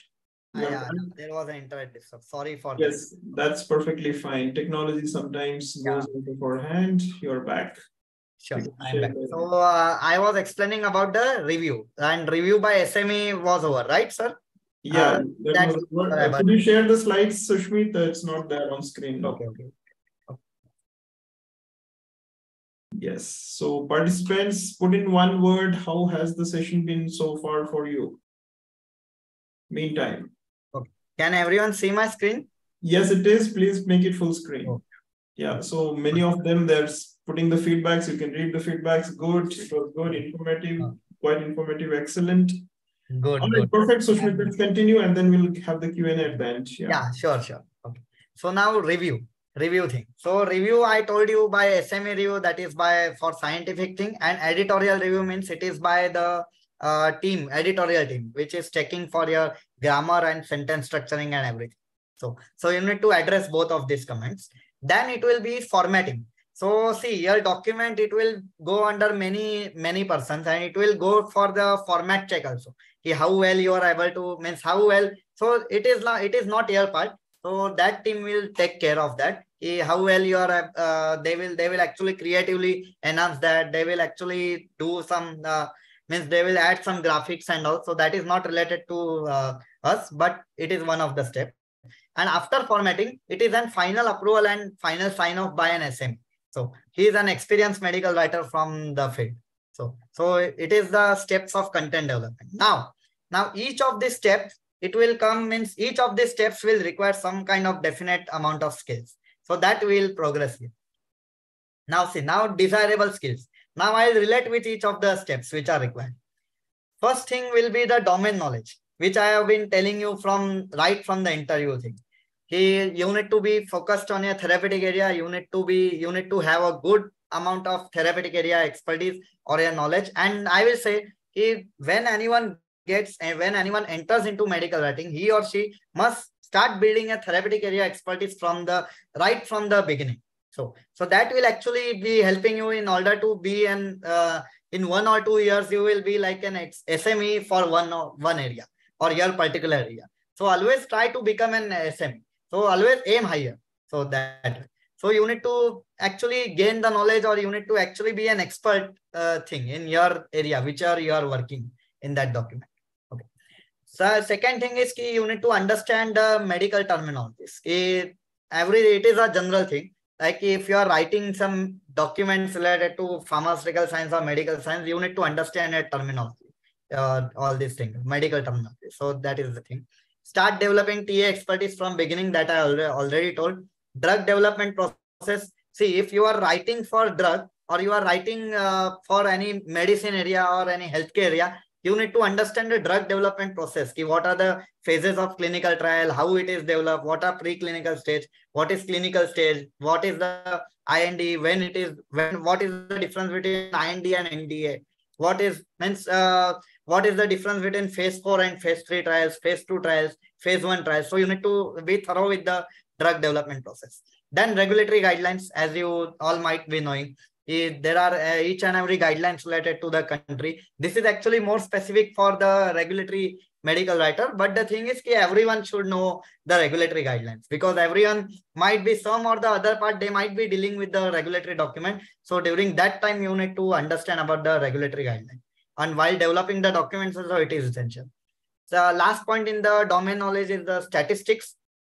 You need to be uh, i will not tell you need to be very much thorough or expert in uh, statistics. You need to be expert in interpretation of the statistics. See you don't need to know ki how p value is calculated but you need to know the interpretation of p value if p value is less than 0.05 then what does it signify you don't need to understand how odds ratio is calculated you need to understand what is the meaning of the odds ratio what is the meaning of the confidence interval so all these kind of statistical parameters you need to understand. What is standard deviation? All these things. So you need to understand this thing. Yeah, I am not telling you in detail uh, how it is calculated and it is not needed. Just interpretation is needed. So that if any clinical trial data comes to you or if anything, then any data is written, then you will be able to interpret what is, what does that signifies, what that p-value signifies that way. Then research skills. I told you earlier it is literature search, how it is important, how well you are uh, doing literature search. So that is actually a function of the of your quality of research. Then it is uh, staying updated, how well you are able to uh, stay updated in your uh, latest information. As I earlier told you, okay, whenever you are uh, gathering some information or whenever it is always recommended, you have to uh, check for the latest research publication. It is not the uh, you will check some older publications and uh, you are not knowing if the research has been happened in 2023 and you are referring to the publication who is 1996 that way and you are not knowing only okay uh, this is the latest research so don't do that you need to be updated and evaluate the information as i earlier told evaluation is necessary if the information intended if you are uh, actually uh, the the thing which you know or the thing which you need in the uh, for the target audience to present that information. So you need to evaluate whether this kind of information is actually needed for the content or not. So that is actually the evaluation. So research skills is done. Then language. Language, I told you ki you need to be grammatically sound also. Here it is important. For statistics, it is good ki you cannot be sound in everything, but you need to be inter you need to be good in interpretation. But for language skill, you need to be grammatically sound. See, because if you are subject matter expert, if you are good in uh, therapeutics, if you are good in your research, but you are, and even if you are good in the presentation, but you don't know how to frame your sentences, and you don't know, okay, see, sentence framing is also very essential if you know everything, but you cannot write a proper sentence, then uh, it is not meaningful information is not presented to the audience. So that is why you need to be grammatically sound also. Even though there is an editorial team who will review, but it should not be like everything, every work has to be went into editorial team only. Or even your document will also, it will be of poor quality if you are not grammatically. You need to use correct vocabulary. Then effective sentence structuring. This is this is very much important. How well you are able to uh, means uh, how well you are able to uh, structure your sentence to uh, convey this clear and legible information. So language is like very important thing along with the domain knowledge. Because if you are domain knowledge, but you are poor in language, then your quality of the first draft, it actually decreases. And mind me, their first draft is actually the thing or your uh, desire. It is like one of your goal to impress the uh, your reviewer. Means it is the way, the quality of your first draft is actually, it is your first impression with the reviewer. If your quality of first draft is excellent, then the reviewer will also be very happy and it will uh, actually lead to a good progress and it is actually leading to less work for the reviewer also. Next, next it is ethics. Okay, so see, you need to avoid plagiarism. It is a like all we all the life sciences professional. Uh, it is a noble profession, but in medical writing also it has a separate ethics. It has this profession also ethics, separate ethics. So first main thing is ki you need to avoid plagiarism. Plagiarism in the sense if uh, you are uh, taking some content from anywhere, you need to actually uh, uh recognize that author or you need to actually uh, give credit to that author. Ki this content is actually taken from there.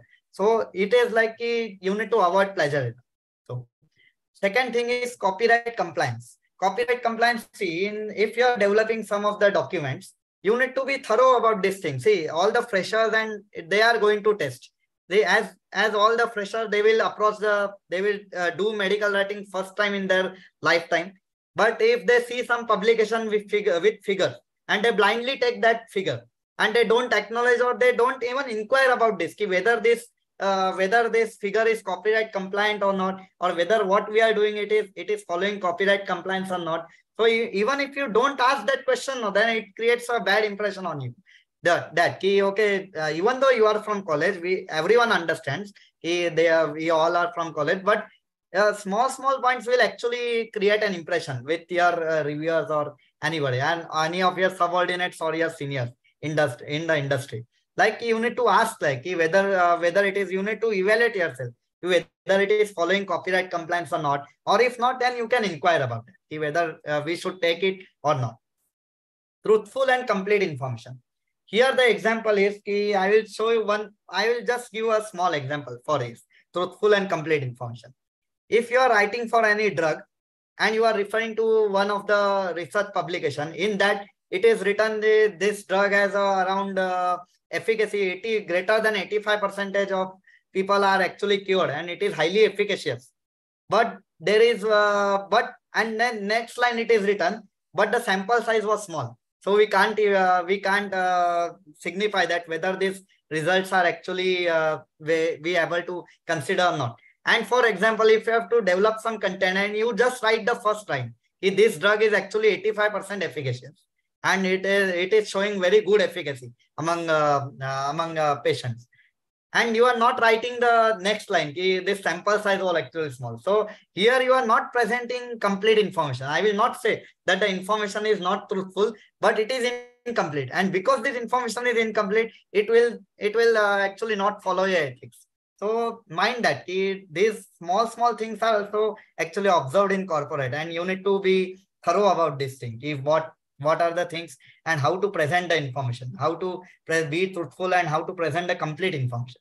Next is presentation skills as I've been telling you from right from the starting. It is ability to organize and ability to present data. Complex data has to be made understandable and specificity for target audience, which I gave is like here, if one example, if I simple, simplest example, if I give for the specificity for target audience is, if I want to develop a material for, uh, I mean to say, if it is for patients, okay. And uh, if anything is written for patient, like uh, you need to explain the mechanism action. So sorry, if, if we can cannot take for patient, we can just take an example of scientist and a doctor. So if you want to explain the mechanism action of any drug for them, and one thing is you are presenting one content or you are developing a material for scientist And another thing is you are developing the material for doctors. Now, if I want to present the mechanism action of any drug to them, for scientist level or who are actually based on drug research or based on chemistry level or any of the drug who are associated with the drug research, will I, I will be uh, able to show them in detail mechanism action, how this drug actually binds to the receptor, what is actually the receptor subunit or what amino acid is, uh, is in the terminal of the receptor and through which bond that drug binds to the receptor. So that kind of information is usually needed for regulatory persons or those who are re uh, related to the CMC part of the regulatory thing or those who are scientists which are involved in the drug discovery. Now, believe me, if I present this kind of information to doctors, will they able to understand? No, right? Means the specificity for target audience matters. If your material is related to the doctors and you are giving like the entire thing, how the drug binds to the receptor and which amino acid subunit or which bond it makes. So that is that is creating no meaning or even no one will refer to a content. So for doctors, you need to be super, be that way. You need to be more medical oriented or pharmacological oriented there that time. So you need to understand the gaps or you need to understand what is the fine line between the or what is differentiating your audience. And if same data you, need to present it to patients. See in patient information leaflets also, you might have seen there is a mechanism action of drug that way. So it is not presented in that much uh, in that manner. If patients are your audience, then you need to take care or you need to take at what depth I need to cover or that what depth uh, I must provide this information. So that is regarding the specificity of your target audience. Okay. Now, before concluding this presentation, now it is my one of the final slide for this thing, is joining the dots. I believe this concept right from my, if I, uh, if you might have seen, if anyone was part of that NIPER lecture during that time also, it was i have been i been telling students like you need to join the subjects or you need to join the dots for everything. He one subject in pharmaceutical science it is not related to just one subject. It is related to many other subjects also. And how well you are able to establish the link between these subjects. So that is actually the great thing for you. And that will actually develop your subject matter expertise in the sector. And same thing it is for the medical writing also so in medical writing, I will be joining the dots between the different processes of medical writing and the different skills which are required for medical writing along with the definition which is provided by the AMWA. So this slide is actually the conclusion or it is one of the summary slide for my entire 16 or 17 slides which I have presented for you just now. So now pay attention to this. Now, now I am taking consideration the considering these steps into three steps, major steps. One is the literature search, then you will be authoring the content uh, literature search. You will be get uh, all these things. You will be searching for the literature. You need to be planning for a content. And then after this you will be authoring the content. And after authoring you will be going to send this content to the reviewers. And after uh, reviewers comments means if reviewer has a comments then he or she might give you the comments and then you will be again this cycle will get repeated. And if reviewer is satisfied and he provides the sign off then it will go to the uh, any of the target audience or this everything will be closed and this loop will be closed. But if reviewer gives the comments, then this entire cycle gets repeated between literature search, authoring and review. I mean literature search, why I have included is ki sometimes the reviewer comments are such that you need to gather some more information. So, so if such kind of things are there, then you need to go again and do literature search for a specific thing which has been mentioned by an SME. Then, okay. Now coming to the literature search. So here you are going to use your research skills, right? And your research skills, which I discussed on previous slide, and that research skill, through that, through using that research skill, you will be able to, you are gathering, evaluating, and interpreting the information. Is it fine? This is the thing. Means through research skill, you will be gathering, evaluating, and interpreting your information. Then then after this literature search has been done, now we will author the content. Now for authoring, your domain knowledge will be tested or not be tested. Your domain knowledge will be used. Your language will be used. Your presentation will be used. And the ethical skills will be all, all these skills will come into play. And then through all these skills, you are going to organize and present your uh, content before the reviewer. This thing. And if reviewers uh, is satisfied, then he may close the loop or he may send, he may approve your content. Or if not, he may provide you additional comments and then again this loop uh, gets, uh, means all this cycle gets repeated. So the main thing in this slide is ki, now I have to give a final word to this. Say ki, every other, each and every skills is related to one another in medical writing. Right from the literature search to authoring or final addressing of the reviewers comments. So every each and everything is related. And for each and everything, there are definite skill sets which are required. And through using that skill sets, you satisfy each and every objective of the medical writing or each and every part of your content development. So this, these are actually my final words and these are actually, I want to present. This is the summary slide, which is presenting the entire content which I discussed so far. So uh, here I end my presentation. So I am open for Q&A session now. So I will uh, stop sharing. Sir, is that fine? If I stop yes, sharing? perfectly, perfectly, Susmit. Yes, please. So that we can uh, interact and uh, yeah, love it. Thank you. It was a wonderful session. Thank you so Thank much. you, sir. Thank you, sir. Thanks a lot. Please have a glass of water. Yes, yes, sure. All right. Thank you. So participants, I hope the session was good and you really liked it. I hope you got all the information that you are expecting from the session.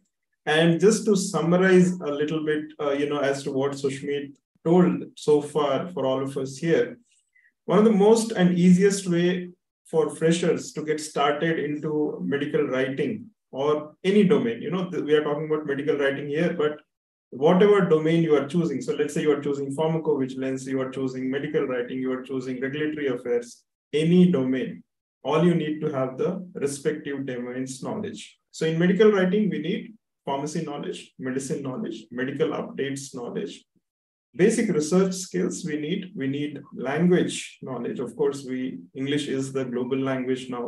Uh, we need to have conversant and we should have good English language capabilities. If not, absolutely no problem.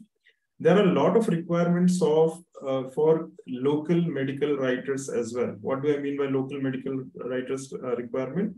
These are the regional medical writers. Okay. So let's say you'll be, you might be writing uh, medical writing content in Tamil. You might be medical writing uh, content in Hindi. You might be writing content in Urdu or any other language, your native language. So there are huge requirements for such writers as well, right? So domain knowledge, uh, then comes research knowledge, then comes the language. Of course, English, if you're good, then and uh, you are also conversing in the local language, it's perfectly fine. You need to have ethics, very, very important. Uh, as medical writers, we might be at times, we might be writing biased information, uh, you know, when you are writing for a specific client or a specific product, but try not to be too biased there.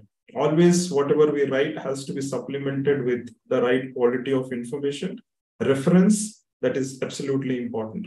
Then presentation skills Presentation skills, again, two types. One is, of course, creating these PowerPoint presentations and writing the content, designing and all of that. That is definitely needed. But when it comes to presentation skills, the most important skill is to understand the content, customize it for the target audience. Now, who is the target audience for any medical writer? There are four major target audi uh, audiences. Okay. One is doctor, pharmacist, nurse, patient, and regulatory bodies. Sometimes we also write for regulatory bodies. So these are our target audience. And the more these skills we have, right? So Susmit beautifully presented this one skill set slide, right? So later on, you can take a screenshot of that and try to compare what skills you have or not. These skills are absolutely important. The more of these skills you have, the more it is better for you to get started as a medical writer. And so for many freshers, they ask, how do we get started? Now we have the skills, but how do I get started, right? So one of the easiest way for you is to use a platform like LinkedIn, right? Uh, use a platform like Medium, for example. Start your writing, showcase your writing skills, write on any therapy area of your interest, write uh, on a, any area of your interest, any topic of your interest. And once you write and showcase the skills, this becomes a repository of your work, right? Which you can showcase to your clients whenever they need it, right? So this is these are some of the skills that you need. If you have already uh, done your MPharm or PharmD or your MBBS or PDS, you might have your journal publications, you might have written some book chapters, you might have written some stories, uh, some content. Those can also be part of this uh, skill set. You can also if you have written some blogs that can also be part of this. If you have written some newsletters you can also do that. If you have not written anything don't worry. Just give yourself 15 days time write some content for LinkedIn and use this LinkedIn to promote yourself. That's a great thing. And many of uh, you know I, the writers that i know they they started completely freelancing they started their journey through LinkedIn. They connected to clients they started getting their work and they started working with them through LinkedIn right? Whatever you do you have to understand only three important things in medical writing. One reading. You have to read a lot. Lot means lot. Just read read read read read. Then you have to write.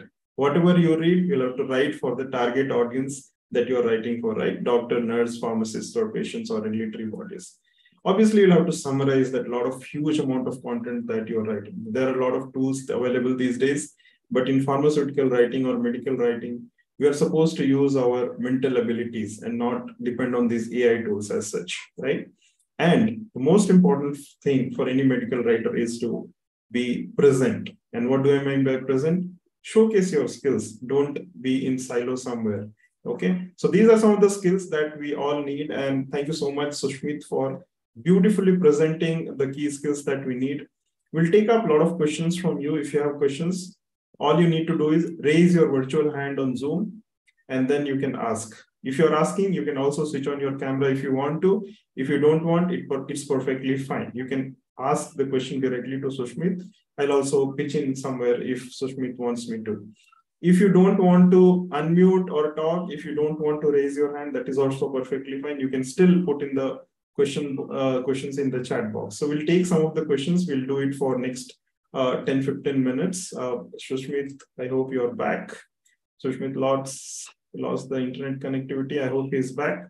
Uh, as soon as he is back, we'll take up the questions. But for now, you can start putting in the questions on the chat box. Susmit is back. Yes, so Susmit is back now. Okay, so anyone wants to ask question, Krishna Prasad. All right, Krishna Prasad, you can unmute and ask the question. Krishna Prasad, you can ask the question. Please unmute and ask.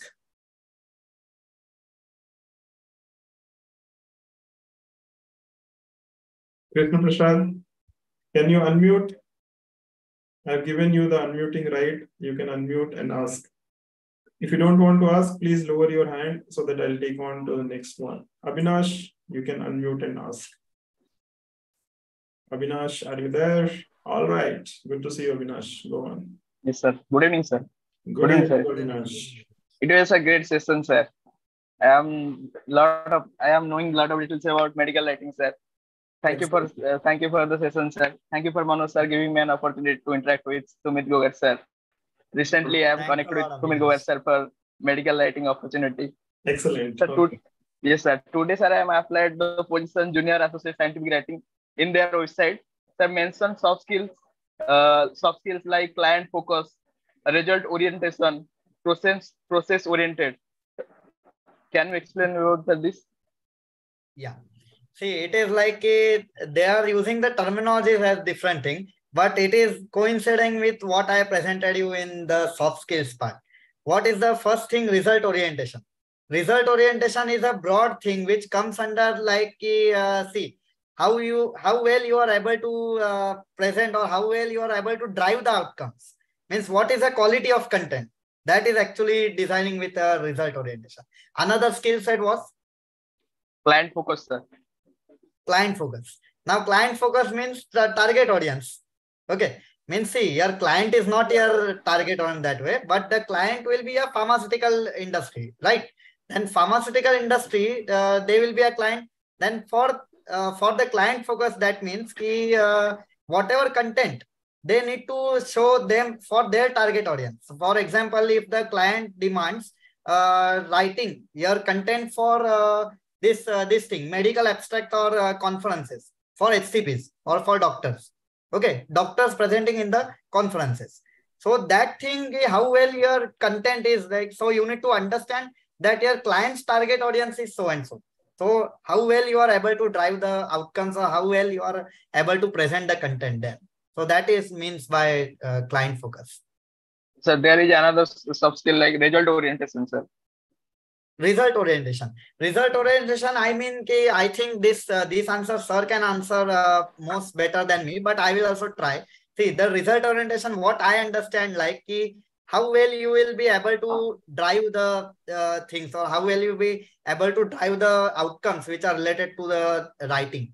Means see your content area is so and so. You are actually developing the content there. Then uh, how well you are able to uh, showcase that content. And how well your quality of content. So everything it uh, it is revolving around the quality of content and your target audience how well your perception is or how good your quality of content is. And see if client comes and tell you and how well you are able to understand the client's requirement that is the main thing. You see if i will approach you for writing any document then i will evaluate whether you are able to understand what i am telling and what i need that is the main thing. If, see, satisfying client needs is very much important. Once you are actually good in satisfying client needs, your career goes up that way. So right from the beginning, how well you are acquainted with that and how well you are able to take the steps that satisfies your client. That is actually the meaning of uh, the thing. Even sir can add to that as sir is more experienced here.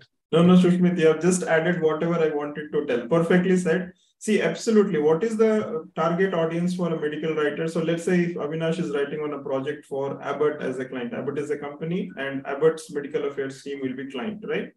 So let's say uh, they have given a project to Avinash. And if Avinash writes 100% uh, as per the satisfaction of the client, and there is a minimum correction or the update which comes from the client, then you have, you have achieved the result that you are supposed to get. Okay. And what happens next? The client, for the client, you become a preferred writer. Okay. And maybe tomorrow, if you apply to any scientific writing positions at Abbott, then you get a chance to work with them directly as well. Right? This is what result oriented means. That means 100% result as per the client's requirement. Okay. I hope we answered that. So we'll take some more questions. Okay, without, uh, okay, Susmit, this question is for Susmit, okay? So the question is, without any course, without any course completion in medical writing, is it possible to pass a interview in medical writing? So Susmit, this is for you. Of course, of course, it is able to pass. See, yes. if you have desirable skill set, which I presented you in entire this presentation, I, I have been repeatedly telling you guys ki there will be no one to stop you from uh, getting into this topmost position and even in the good MNCs because in in MNCs no the criteria or the quality of candidates which they prefer it is like ki, they it is very much stringent they need actually talented and very uh, good hold expertise holding candidates so for that reason no see I also not pursued any course I have done my MS Pharm in medicinal chemistry there so I have been, uh, means I come from a research background, but I have not uh, pursued any course or postgraduate diploma related to medical writing, but I am in the medical writing. And yeah. now uh, I was actually appointed to lead a senior medical or to lead our junior medical writers. And I was the youngest of them. So the thing is ki there is how well you are uh, acquainted or how you have the skills. So that actually matters. There is no, once you, there is not any requirement or in CV, just you can add it in your CV. Okay, I have completed PG PG diploma, but it it is not like okay the candidate who has completed his diploma or the candidate who has not completed his diploma, they will be like different. Even both the candidates will be interviewed, and in some cases, if that candidate who has not completed his education or he has not any undertaken any course, he might also get selected because of his skills. Absolutely totally agree with you on this. So for medical writing, uh, you know, passing a medical writing interview or test, you don't have to do any kind of course. See, uh, in during this test, they want to assess only two things. One is your confidence levels, and two things. The second thing is your uh, writing skills. They also want to assess your presentation skills, your understanding skills, your therapy knowledge, all of that. Okay, so as long as you are able to prove all of this, you don't have to do any kind of course. And tell, let me tell you one more thing. Most of the courses which are currently present in India or currently being run by different institutes, they don't provide you much practical knowledge. So that's a big challenge here, right? And the requirement of requirement for medical writing by these uh, companies is totally different. Indegene might be working on a certain uh, set of uh, skills. The same skills, uh, you know, if you go to any, any another company, the writing style may be different. The skill set required might be different. But the core skills, right? The four core skills that uh, Susmit mentioned, domain knowledge, research skills, language, ethics, presentation, they remain throughout the same. So as long as you have all these skills, then you don't have to worry. You can simply start applying. Okay. All right. I hope we answered. Thank you for asking that. Don't worry, Avinash. We answered your question, so you can watch the replay and get it from there. All right, Nirupama, you can ask your question. Could you just unmute and talk? Nirupama, this is for you. Yes, please unmute and talk. I've given you the unmuting right. You can unmute and talk. Can you hear me? Yes, loud and clear. Go on. Yeah, thank you so much, uh, Susmit sir uh, and Manoj sir. You have, uh, you know, most of the uh, doubts have been cleared. Uh, the uh, um, I have uh, a bit of uh, medical terminology, uh, you know, uh, uh, been in that uh, field for uh, say 20 odd years, but uh, I won't say I'm deeply, uh, you know, knowledgeable about it. But uh, you know, the uh, communication skills and the uh, content writing skills and all that I have. I've been uh, working on uh, US clients for some years now. Uh, so what I want to really know is if, uh, you know, with this kind of uh, skill sets, uh, will I be able to apply for uh, companies? Uh, should I be confident enough to comply, uh, apply into the companies? And on what basis, uh, you know, will they uh, even send me a, a- interview letter? All right. Susmit, you want to take that? Uh, yeah, I will try, but later sir's input is also needed. since, Definitely, I'll uh. Yeah, no problem. Go on. I'm a fresher and I'm not a fresher like one year experience. But according to that, I can say like, eh, see, if you have medical terminology, if you have every kind of skill sets, you are thorough in your in the science, you are thorough in the healthcare uh, related terminology, healthcare related concept. You know how the drug has been developed, or you know what the regulatory guidelines are. How what is the procedure uh, of uh, researching uh, of the drug research? How the pharmaceutical companies market their products then you are in the medical writing. There is no uh, limit or there is no as far. You as can uh, regulatory affairs and all these are uh, way deep into the uh, you know terminology into uh, you know maybe a B Pharm uh, student or somebody you know those in those kind of uh, fields may be able to uh, you know give it out. Uh, these kind of answers will be easy for them. But what about people like us like you know who have got uh, basic medical terminology? We know because i've been dealing with this basic terminology for years. Regulatory affairs i may not know much because you know even drug development and all that is something which again as i asked manoj sir also if you know certification would help in learning all these uh, uh, you know aspects of medical writing All right. So in that case, see, in that case, certification might help you. But the thing is, ki, uh, regulatory affair, I don't mean ki you need to go get into lots of detail, like ki, what each other, what are the ICH guidelines, which guideline, the ICH Q3 guidelines discusses what, it is related to what, ECTD has how many modules, and module 3 explains what. That doesn't, I don't mean that much in detail, but just you need to know, right, ki, how the drug has been developed, what are the phases of clinical trials, so even if you are, uh, you know that much information, or even if you can study that much information,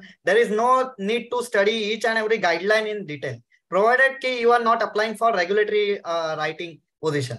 So Right. uh, you must need to know like how it is just the drugs are developed and what are actually the guidelines, not to go into detail for each guideline. So that is my answer for that. Uh, sir Absolutely. can add it. more. Yeah, thank you, Susmit, for adding that, and uh, you know, Nirva for asking that question. See, first thing first is never ever think that you will be expert someday. right. You know, that is that is not going to happen. I have been there in this domain for about 16 years now, writing for a lot of content. I have not, I've never ever considered myself an as an expert. Every day, every project that comes to me brings me new learnings and new knowledge. We are learning every single day. Every new project brings so much of insights and knowledge for us. All we should know all we should understand is how able we are to understand a content that is given to us. So let's say if they have given a clinical trial document to us how capable we are to understand that clinical trial document and customize it for our audience. That's all we want to know. Okay. And expertise will not happen uh, if you are expert in medical marketing writing it does not mean that you know you'll be an expert in regulatory writing no these are all different different fields they're all interconnected all you need is to find out your sweet spot where you can justify your writing to at least 80% of your satisfaction no writer ever so far i have met has 100% satisfied with his or her writing. You go to any seniors they'll say your writing is okay 80% 70% you go to his manager he'll say okay 50% 30% no one ever will be 100% satisfied with your writing. And if i give the same topic to 10 writers 10 writers will write 10 different type of content. The essence will be same but the writing style the presentation everything will be different. In no way 10 writers can present the same information in the same possible way unless it is regulatory writing, which is completely template based. You are given templates and you are supposed to write some content based on that. Medical writing, medical marketing writing, or medical communications writing is all different. Right. So the presentation skills is different. Understanding skills, our understanding abilities will be different.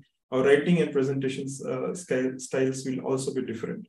So what we need to do is, so let's say you want to get into the pharmaceutical industry or the healthcare industry as a healthcare writer or uh, you know, medical writer or medical communications writer. All you need is to just make a list of all the skills that you have right now and then see which industry you fit in. And then based on that, just start applying. You don't have to uh, wait till the time that you match all the 100% job descriptions which are mentioned by the companies. In no, no way we can match the uh, you know, we can meet the requirement of the job descriptions to 100%. Never ever it happens because the job descriptions released by Abbott will be different. The job description released by Sun Pharma will be different. For the same profile, they might mention and use some different terms. So in no ways we can say that we are 100% meet matching those job descriptions. So it is not possible. All you need is to be confident that yes, given about 10 days or 15 days or one month in that company, I'll be able to learn those skills. I'll be able to, you know, uh, showcase those skills in my writing and I'll not make the same mistakes uh, that I made in the first uh, art article or the project, right? So as long as if I'm able to, you know, innovate myself and upgrade myself to the next project in a better way, it's perfectly fine. So you should get started with that. So thank you so much. The uh, internships uh, that uh, some of the companies are offering, uh, will they help? they do help in sharpening your skills and they do also help you to learn some things which we have not learned in, in our in our college education and which which you have not learned in our past experiences they definitely do it but one of the most important skills that you need to uh, you know get into medical writing is to showcase your skills and how do you showcase your skills? One of the best ways to, you know, showcase through LinkedIn.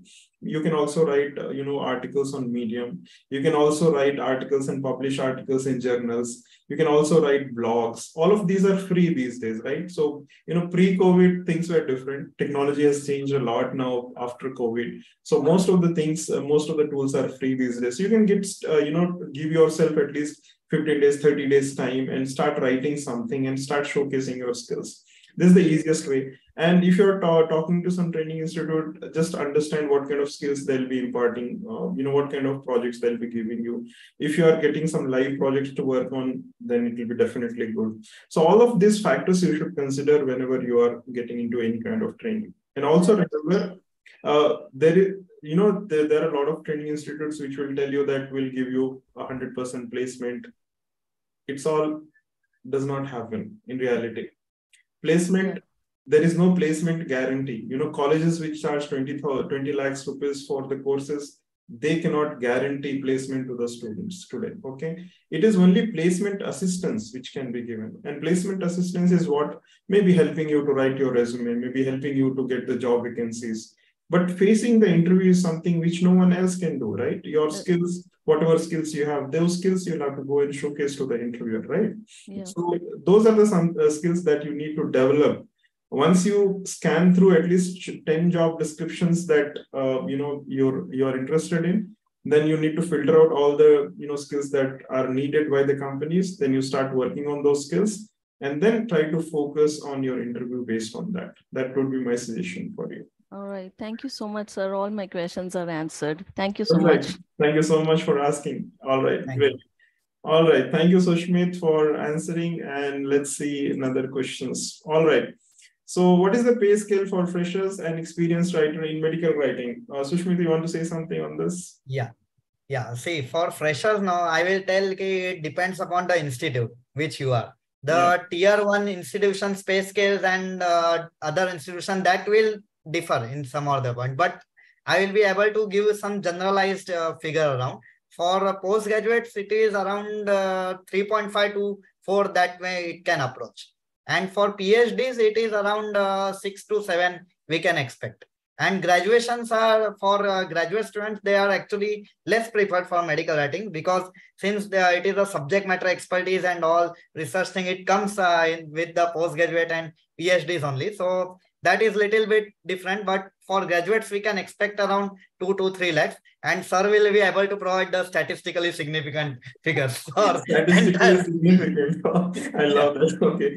So, you know, there is uh, there is no statistically significant here. It is totally dependent on two important things. One is your skills, and the second one is the company which is hiring you. And okay, uh, the second uh, important parameter here is not just the skill, also your educational level. So if a B Pharm is trying after, uh, you know, graduation four years of degree, uh, the pay scale will be different. If a PharmD is trying, the pay scale will be different. A master's is trying, pay scale will be different. If a MBBS MD is trying, the pay scale will be different. If a BDS, just BDS is trying, it will be different. If it is BDS plus MDS, the pay scale will be different. Okay. So the salary ranges somewhere between 3.5 lakhs to 12 lakhs. Okay and it totally depends on the degree. For uh, you know, recently one of my MBBS MD friend was hired uh, for a package of about 12.5 lakhs. He was just a fresher. He completed from the college, and uh, you know he was hired for a MNC company here in Bangalore. And next six months his salary will uh, be again increased to you know something else. So this is the range, okay, and totally depends on the company that you are working for. Another beautiful thing about medical writing is uh, you can do freelancing if you have some amount of experience. So, and freelancing projects totally depends on your expertise, your availability, and the type of content you write. Okay. All right. So, PharmDs, yes. Uh, so, PharmDs, uh, the pay scale will be somewhere between MPharms and MBBS. Okay and I'll not reveal the pay scale here. It totally depends on the companies. Again, these are something, uh, you know, figures that we are not supposed to say in the public domain. But again, it's a range. Okay, so range is about 4.5 to about 5.5 range for PharmDs. Okay.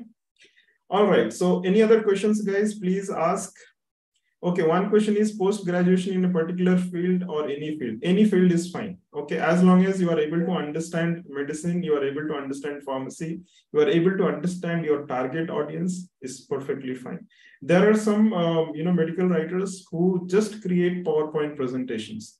There are a few medical writers who just write uh, patient education content. There are a few medical writers who write content only for doctors. There are some medical writers who create training materials only for the field, that is the medical representatives. So it totally depends on what kind of field you have chosen and which company you have joined. Okay. All right. What about uh, BPT? BPT is physiotherapy, if I'm correct. Physiotherapy, yes. You also need to write a lot of content for physiotherapists and sports medicine and patients. So there is a huge requirement again. Yes. BPT is physiotherapy. Yes. All right. Okay. Perfect. Thank you so much. Any other questions? Please do ask. I'll take some questions from YouTube as well. Hospital writing for patients. Uh, there is one question from Nani uh, on hospital writing for patients. You have any ideas, Susmit? Otherwise, I'll tell something from my. Uh, hospital writing, sir, sir can tell that. Okay, hospital writing. So all these hospitals, at the end of the day, they want to market themselves to the patients, right? For hospitals, patients is the customer, right? So how hospitals do the marketing? They do marketing in two ways. One is the online, another one, one is the offline marketing.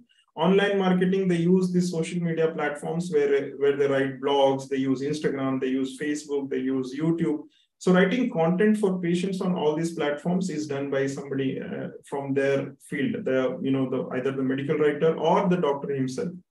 Some hospitals have also hired medical writers who are interface between the doctors and the you know the hospital itself and they write content for all the social media platforms. The offline marketing content which is like flyers or you know brochures or booklets right?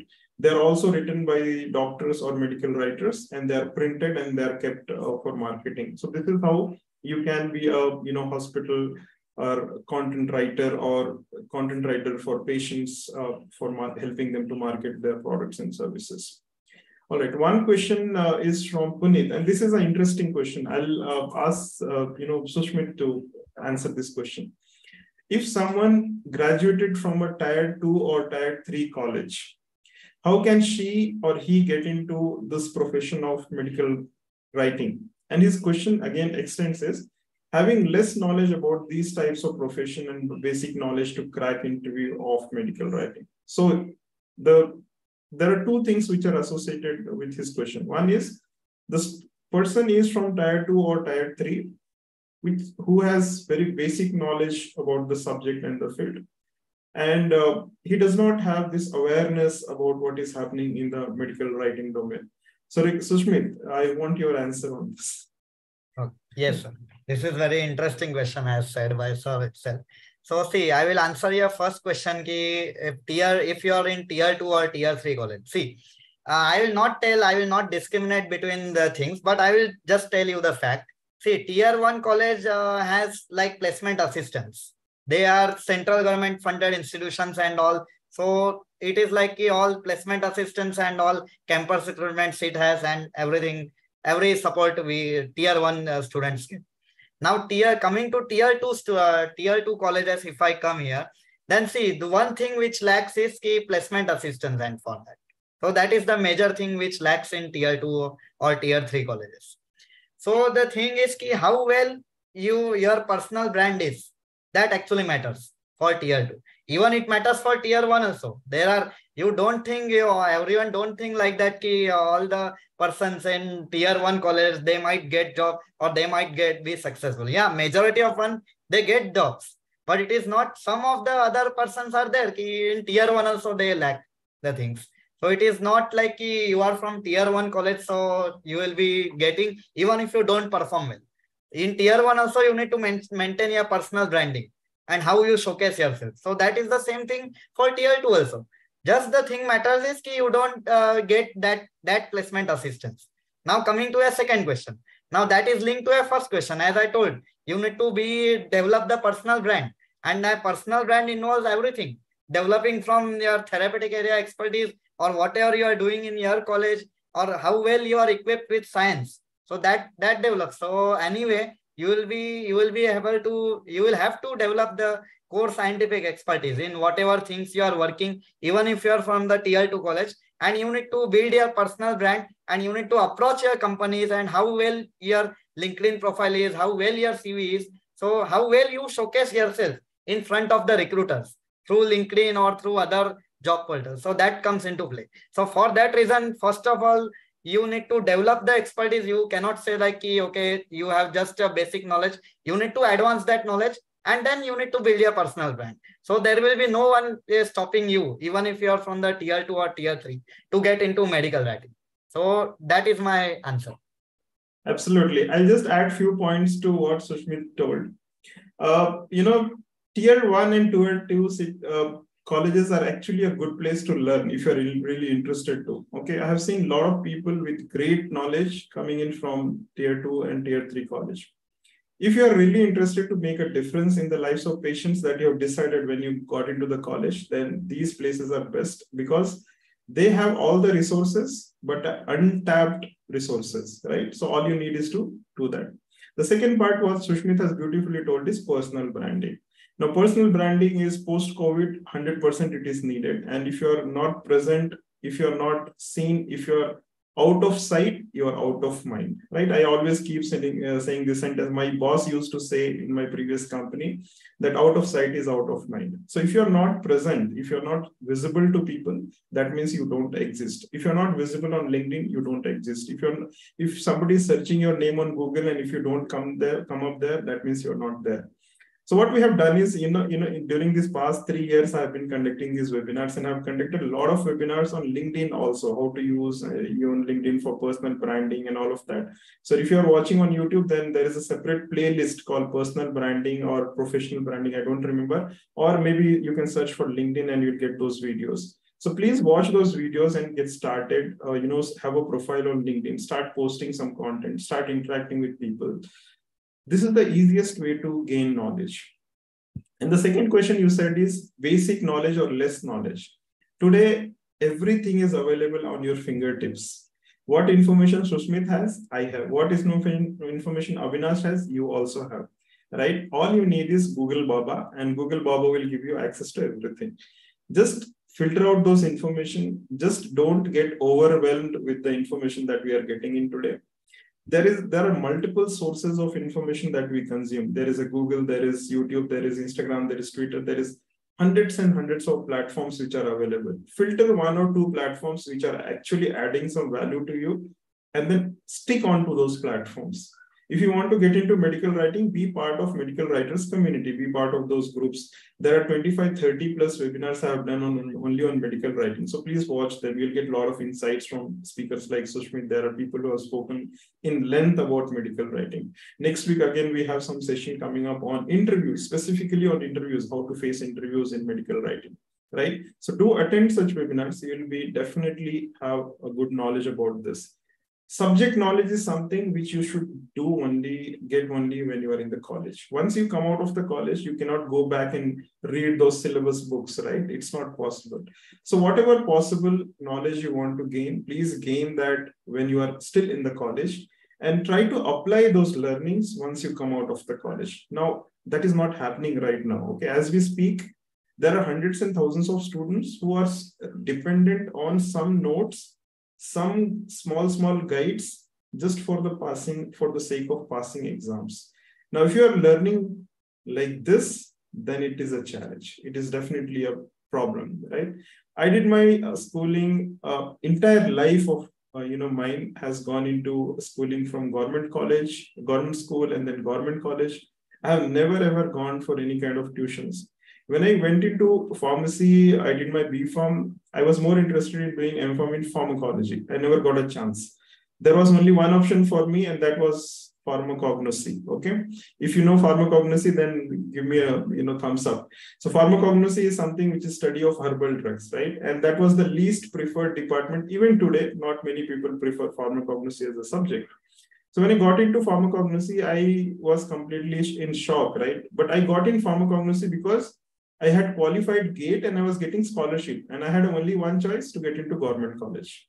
I don't, I didn't have much choice and liberties at that point of time, right? So I did my MPharm and then when I was doing my MPharm, I was very much interested in writing. Okay, so I used to write. I was also creating mock tests for GATE exams and all of that. So I was freelancing at that point of time. And this helped me to improve my communication skills. And also it helped me I should thank my, uh, I must thank, thank my seniors. I thank, I must thank my professors who really helped me to gain a lot of pharmacology knowledge because I was very much interested in pharmacology. There are some seniors who really, uh, you know, invited me to the labs and gave me a lot of knowledge and gyan on pharmacology. And this really helped me to uh, deep dive into medical writing. Okay. And this has really helped. So in no way your education or tier two or tier one or government college or private college defines your knowledge. If you're interested to gain knowledge, all these adversities can actually play a big role in getting uh, gaining a lot of knowledge. So focus on what you want to learn. And when you are in college, this is again for all my freshers uh, and friends who are still in the college, please focus only on learning don't focus on passing the exams that eventually you'll pass the exam right? Today passing exam is very easy. You have a lot of sessional marks and you have a lot of very less theory marks so passing exams is not a problem. So focus only on gaining knowledge. Try to gain as much knowledge as possible. And once you come out of the college don't wait for that time to make your visibility online and connect with your seniors. You should start connecting with your seniors even before you come out of the college now, this is a big mistake, right? You have completed the college and then suddenly you reach out to seniors saying, please help me for a job. why that they will help you for a job you have never interacted you have never bothered to connect with that person right so if you have alumni network please use that alumni network connect with your seniors take their help in building the relationship first and then ask for a job don't ask for a job if you have not built that relationship okay? That person is not interested to refer if you have not built your relationship. Absolutely important. And this is for all the freshers. And if you're if you know freshers please pass on this message to them. People will not refer you if you have not built relationships with them right? And today referral system in pharmaceutical industry and healthcare industry accounts for more than 80% of the jobs okay? So if you want to get referred build that relationship. Okay. All right. Thank you so much. I was not interested to get that, give all the gyan to you, but you know, sometime emotion flows and we start giving the gyan, right? All right. Thank you so much for asking that. And we'll have one more question. One question from my farm side, can D-Pharma also apply for medical writing? D-Pharma is, uh, you know, D-Pharm is a two-year degree. It's a very, very basic diploma in pharmacy degree. So normally you don't get a chance to get into core medical writing. But if you have a good knowledge, you can definitely try medico marketing writing, which is done by most of the pharmaceutical companies. Now, the pharmaceutical companies need somebody to help them in creating content for their products and brands for marketing purpose, for posting on social media, right? Doing all of this writing small, small blogs. You can try that and please do higher education. Okay. Go for a higher education and go for it. Right. All right. So next question is how can we get information about companies that there are openings, hirings about medical writing? So follow Susmit and follow me on LinkedIn. Follow Avinash on LinkedIn. All right. We keep posting a lot of such information on LinkedIn.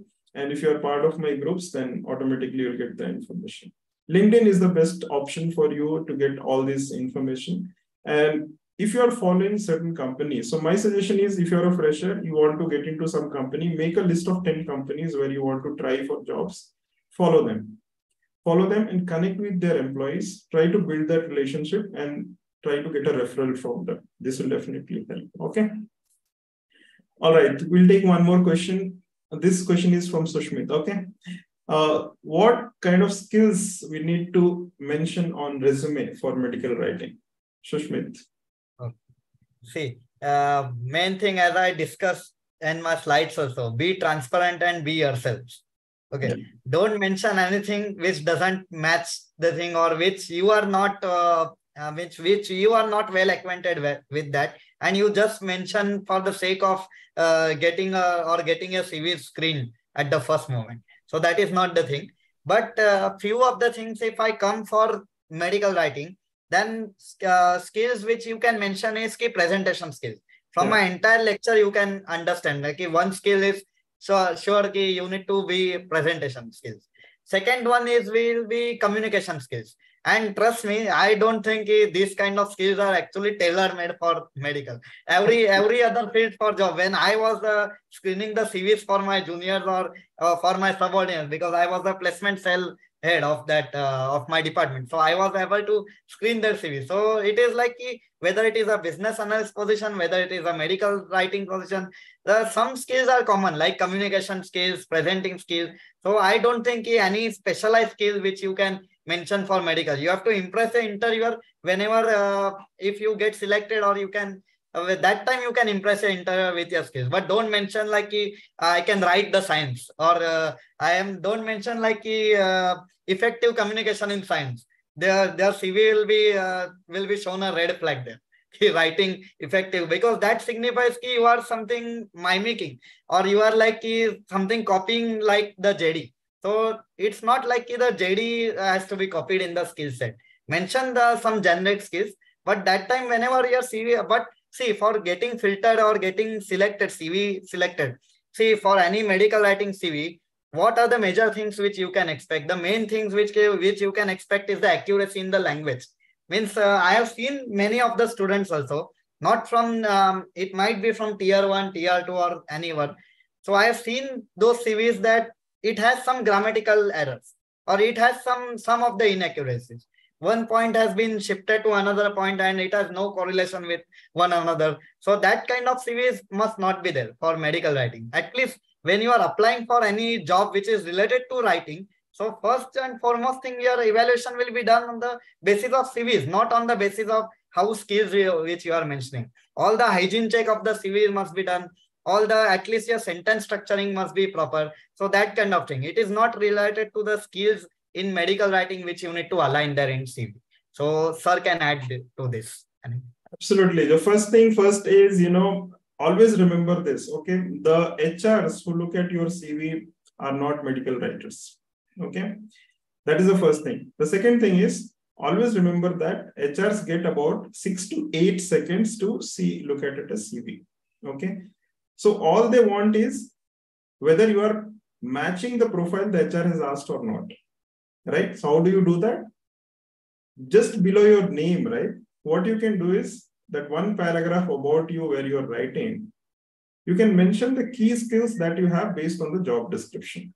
Okay. And don't put stories. Okay. I see some of the medical writing CVs putting hobbies as dancing and music and all of that. Okay. Then some medical writers, they have done MPharm and then PhD, they write uh, their SSLC and 10 standard marks. Not needed, right? Always we want to see the highest qualification that you have rest of the skills are not needed. Dancing has nothing to do with medical writing. So please don't mention such skills. Just a waste of time of the HR. Okay, put only the skills that the HR can see and find you as the most ideal candidate for that vacancy. Okay, put yourself in the shoes of HR for 10 seconds and evaluate your CV for 8 seconds. Okay, and see if you like your CV as a HR. If you like your CV as a HR, then post it. Otherwise, don't. Simple rule. All right. Okay. Thank you for that. And I hope we answered that. We'll take one more question. Um, this is from Puneet on YouTube. And Puneet asks, how can, can we expect a webinar on regulatory and clinical research? Yes, Puneet, we have already done that. So if you're watching this on YouTube, then you can go to the playlist, uh, which is on medical pharm, uh, pharmacy careers. There are 75 plus videos these are the recordings of the past webinars. So check out the one on clinical research and there are two or three videos on regulatory affairs also. All right.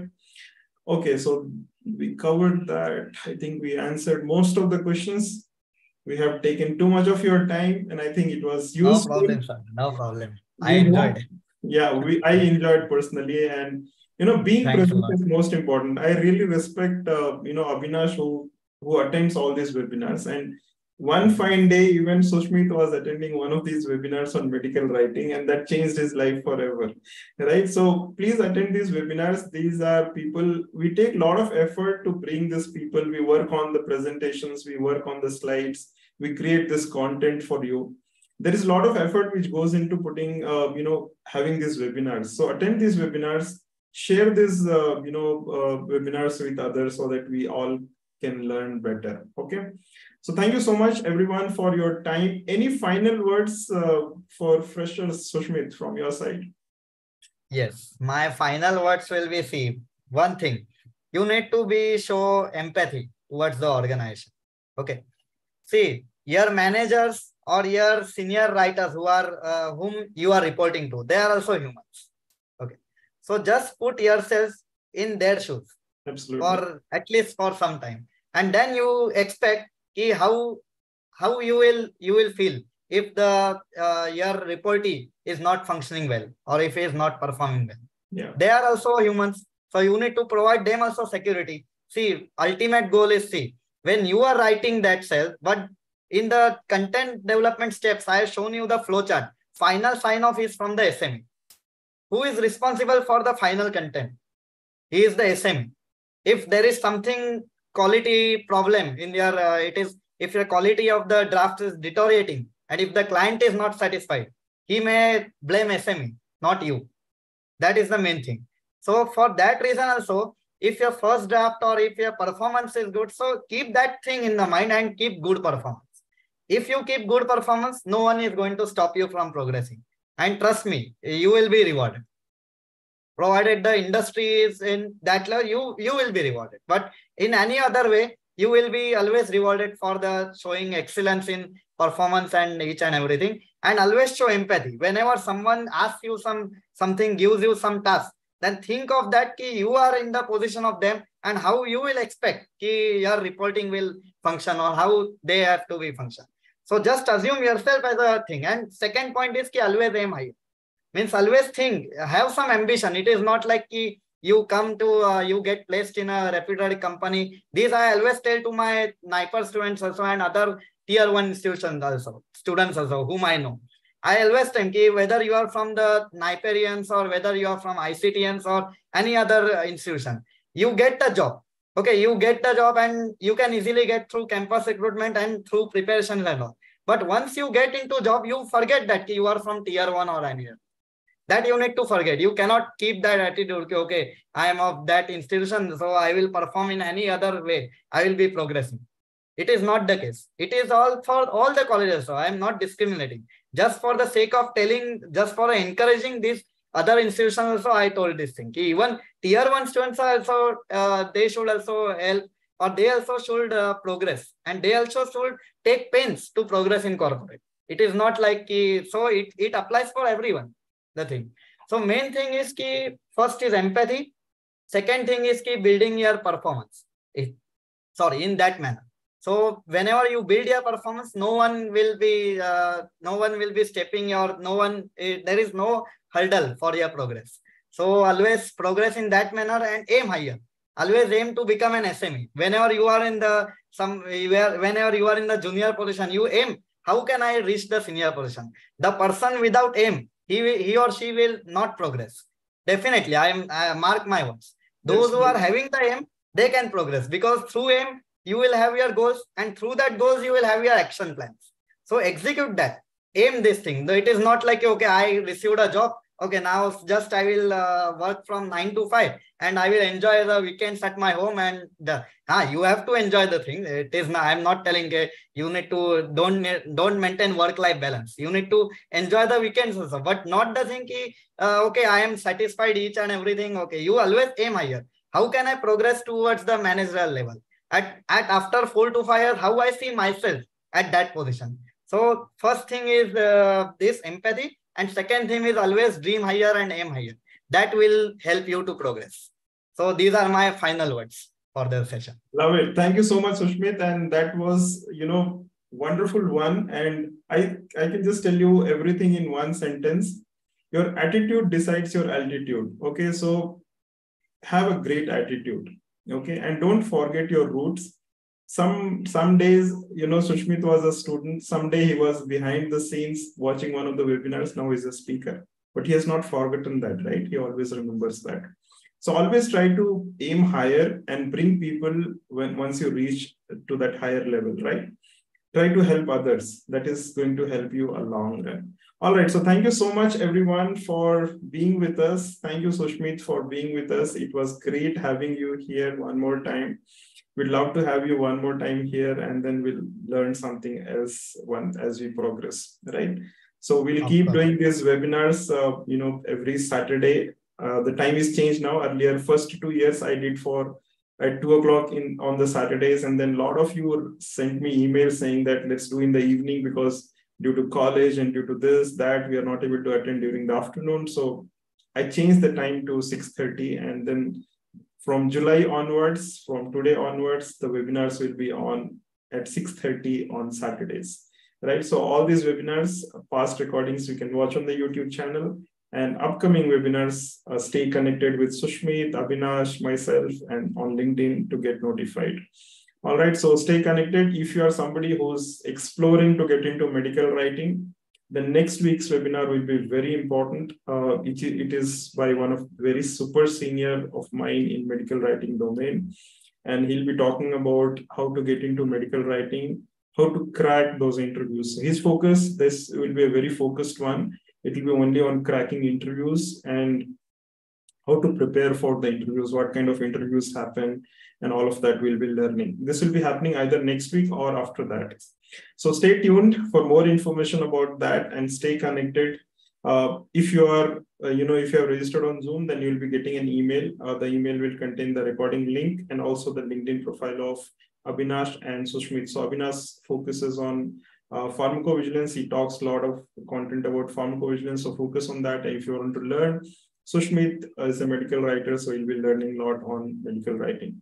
And learning all these different domains is absolutely important because as a medical writer, we are a connecting point. We connect the dots between different departments in the healthcare system, right? So stay connected, keep learning, stay blessed, and all the best for your futures. Keep learning, and we'll meet again next week. All right. Thank you so much, Susmit, for your time. And thank you so much, everyone, for being with us on YouTube and also on Zoom. We'll meet again next week. I'm stopping the live session on YouTube. Okay.